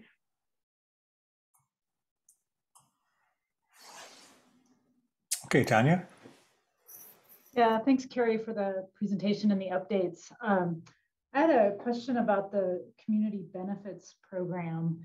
And it, one is, could you just give a little more detail as to kind of the types of benefits that would be considered or, or might be being discussed? Um, I don't know if it's too early for that, but, um, and then how does that program kind of factor into the decision-making process here, if at all? Um, how does it how does it situate with uh, you probably talked about some yeah. of it and I might have missed, I, missed I but really, I'd love to hear more. I did a very broad overview because I could yeah. easily talk for a half hour about the community benefits program alone. So uh, so right now what we're looking at are two key pieces associated with the community benefits program. One of them is a Delta Community Fund and the idea is that it would be a fund to fund to grant fund potential efforts of the community in support of of maintaining the Delta's uh, eco ecological, economic, recreation, cultural values. Uh, so trying to really fundamentally help Delta as a place. And does DWR fund that? Sorry. So it would be part of the project cost. So it would be uh, funded with the construction costs, and that's funded not by DWR, but uh, it would be paid for by the water agencies that receive the water. Okay.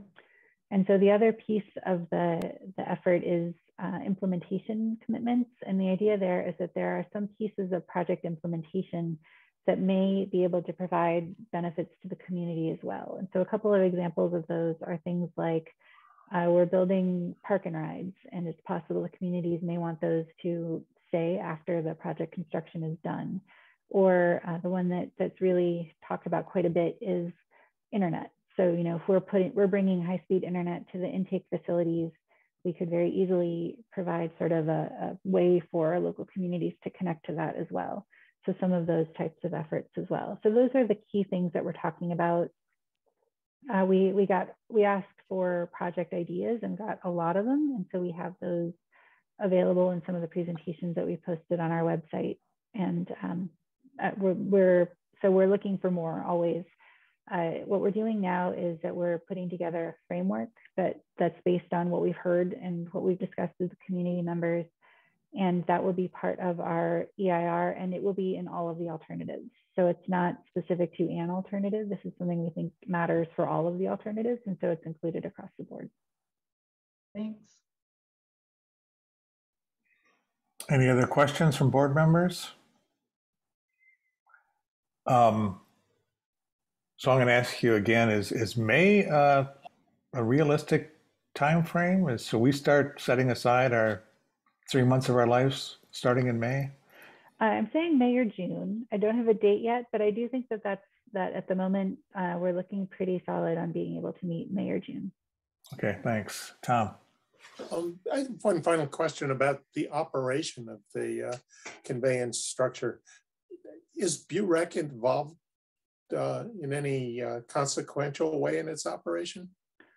No, at this point, they haven't indicated interest in participating as a lead agency, so they are not. Uh, this is a state water project only facility. Uh, we do have some alternatives that include the potential for them to be involved, and that's partially because we have a, a record that they had been involved in WaterFix, and so just because people kind of want to see how the impacts and benefits would change. We did include them in alternatives, but the Bureau of Reclamation has not indicated interest in being part of the project. Do you know why? I, I, I can't really speculate on their motivations. It's their choice.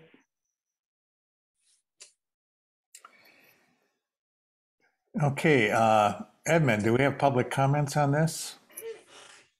Um, yes, um, we have two, but I just want to remind um, the public, if you registered for a public comment, please make sure you also raise your hand if you still have a public comment. Um, but we'll go with Osha Meserve first, then Deirdre Des Jardins.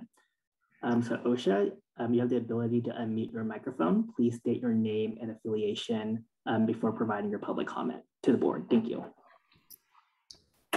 Good afternoon. Can you hear me? Yes.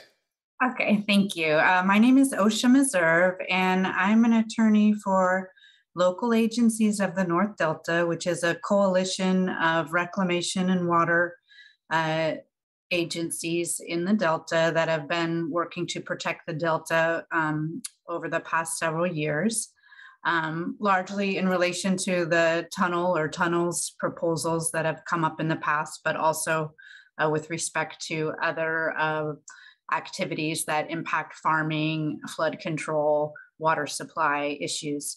And um, I am glad that um, you know this briefing occurred today, um, and that the new members of the board are getting you know informed about uh, what's being proposed for the Delta.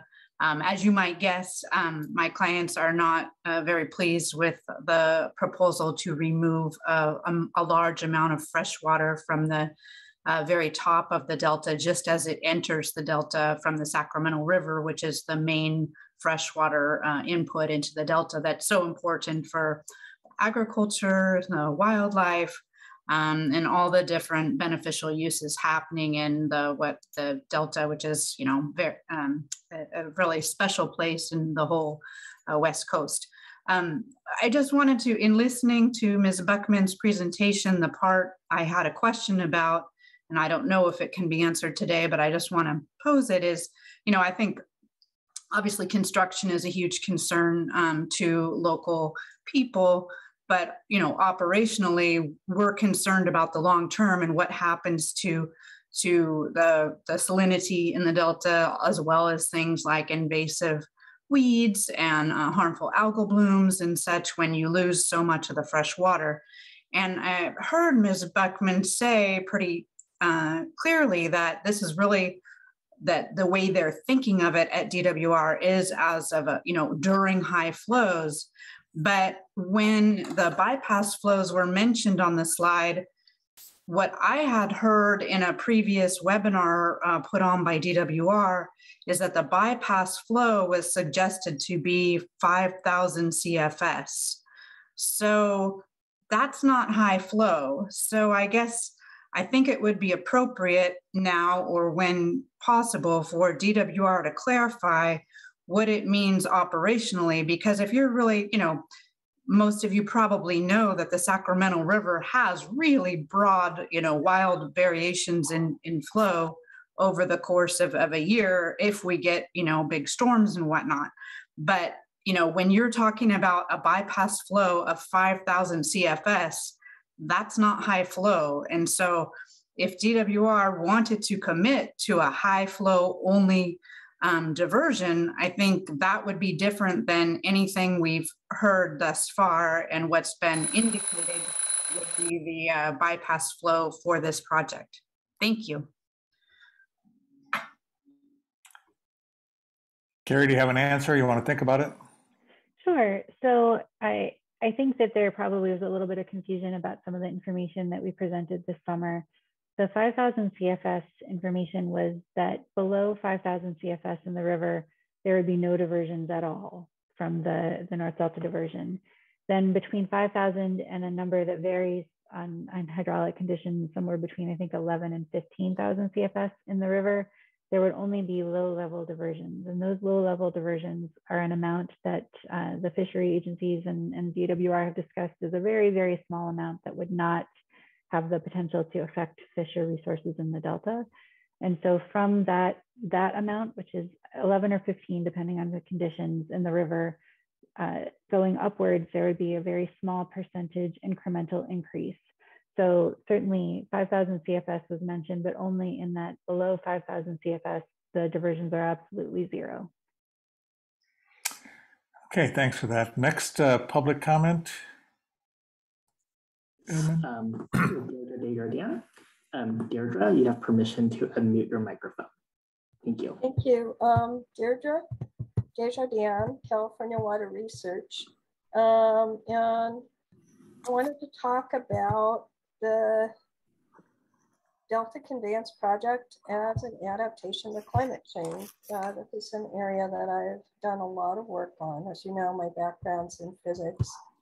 Uh, so as Carrie Buckman stated, the project is proposed in part to protect the water supply for the State Water Project from salinity intrusion due to sea level rise. And as such, it's not just subject to CEQA and NEPA. Under the Delta Reform Act, the project is required to be consistent with the Delta Plan. When the project ER is completed, in order to proceed with the project, DWR has to file a consistency determination for the project with the Delta Stewardship Council, which can then be appealed. What the key requirement of the Delta plan for the Delta ISB purposes is that DWR is required to use best available science in the project. This includes best available science on climate change, best available science on ecology, flows, etc. This is the second iteration of the Delta Tunnel project. The first iteration, the Twin Tunnels project, was planned for over a decade.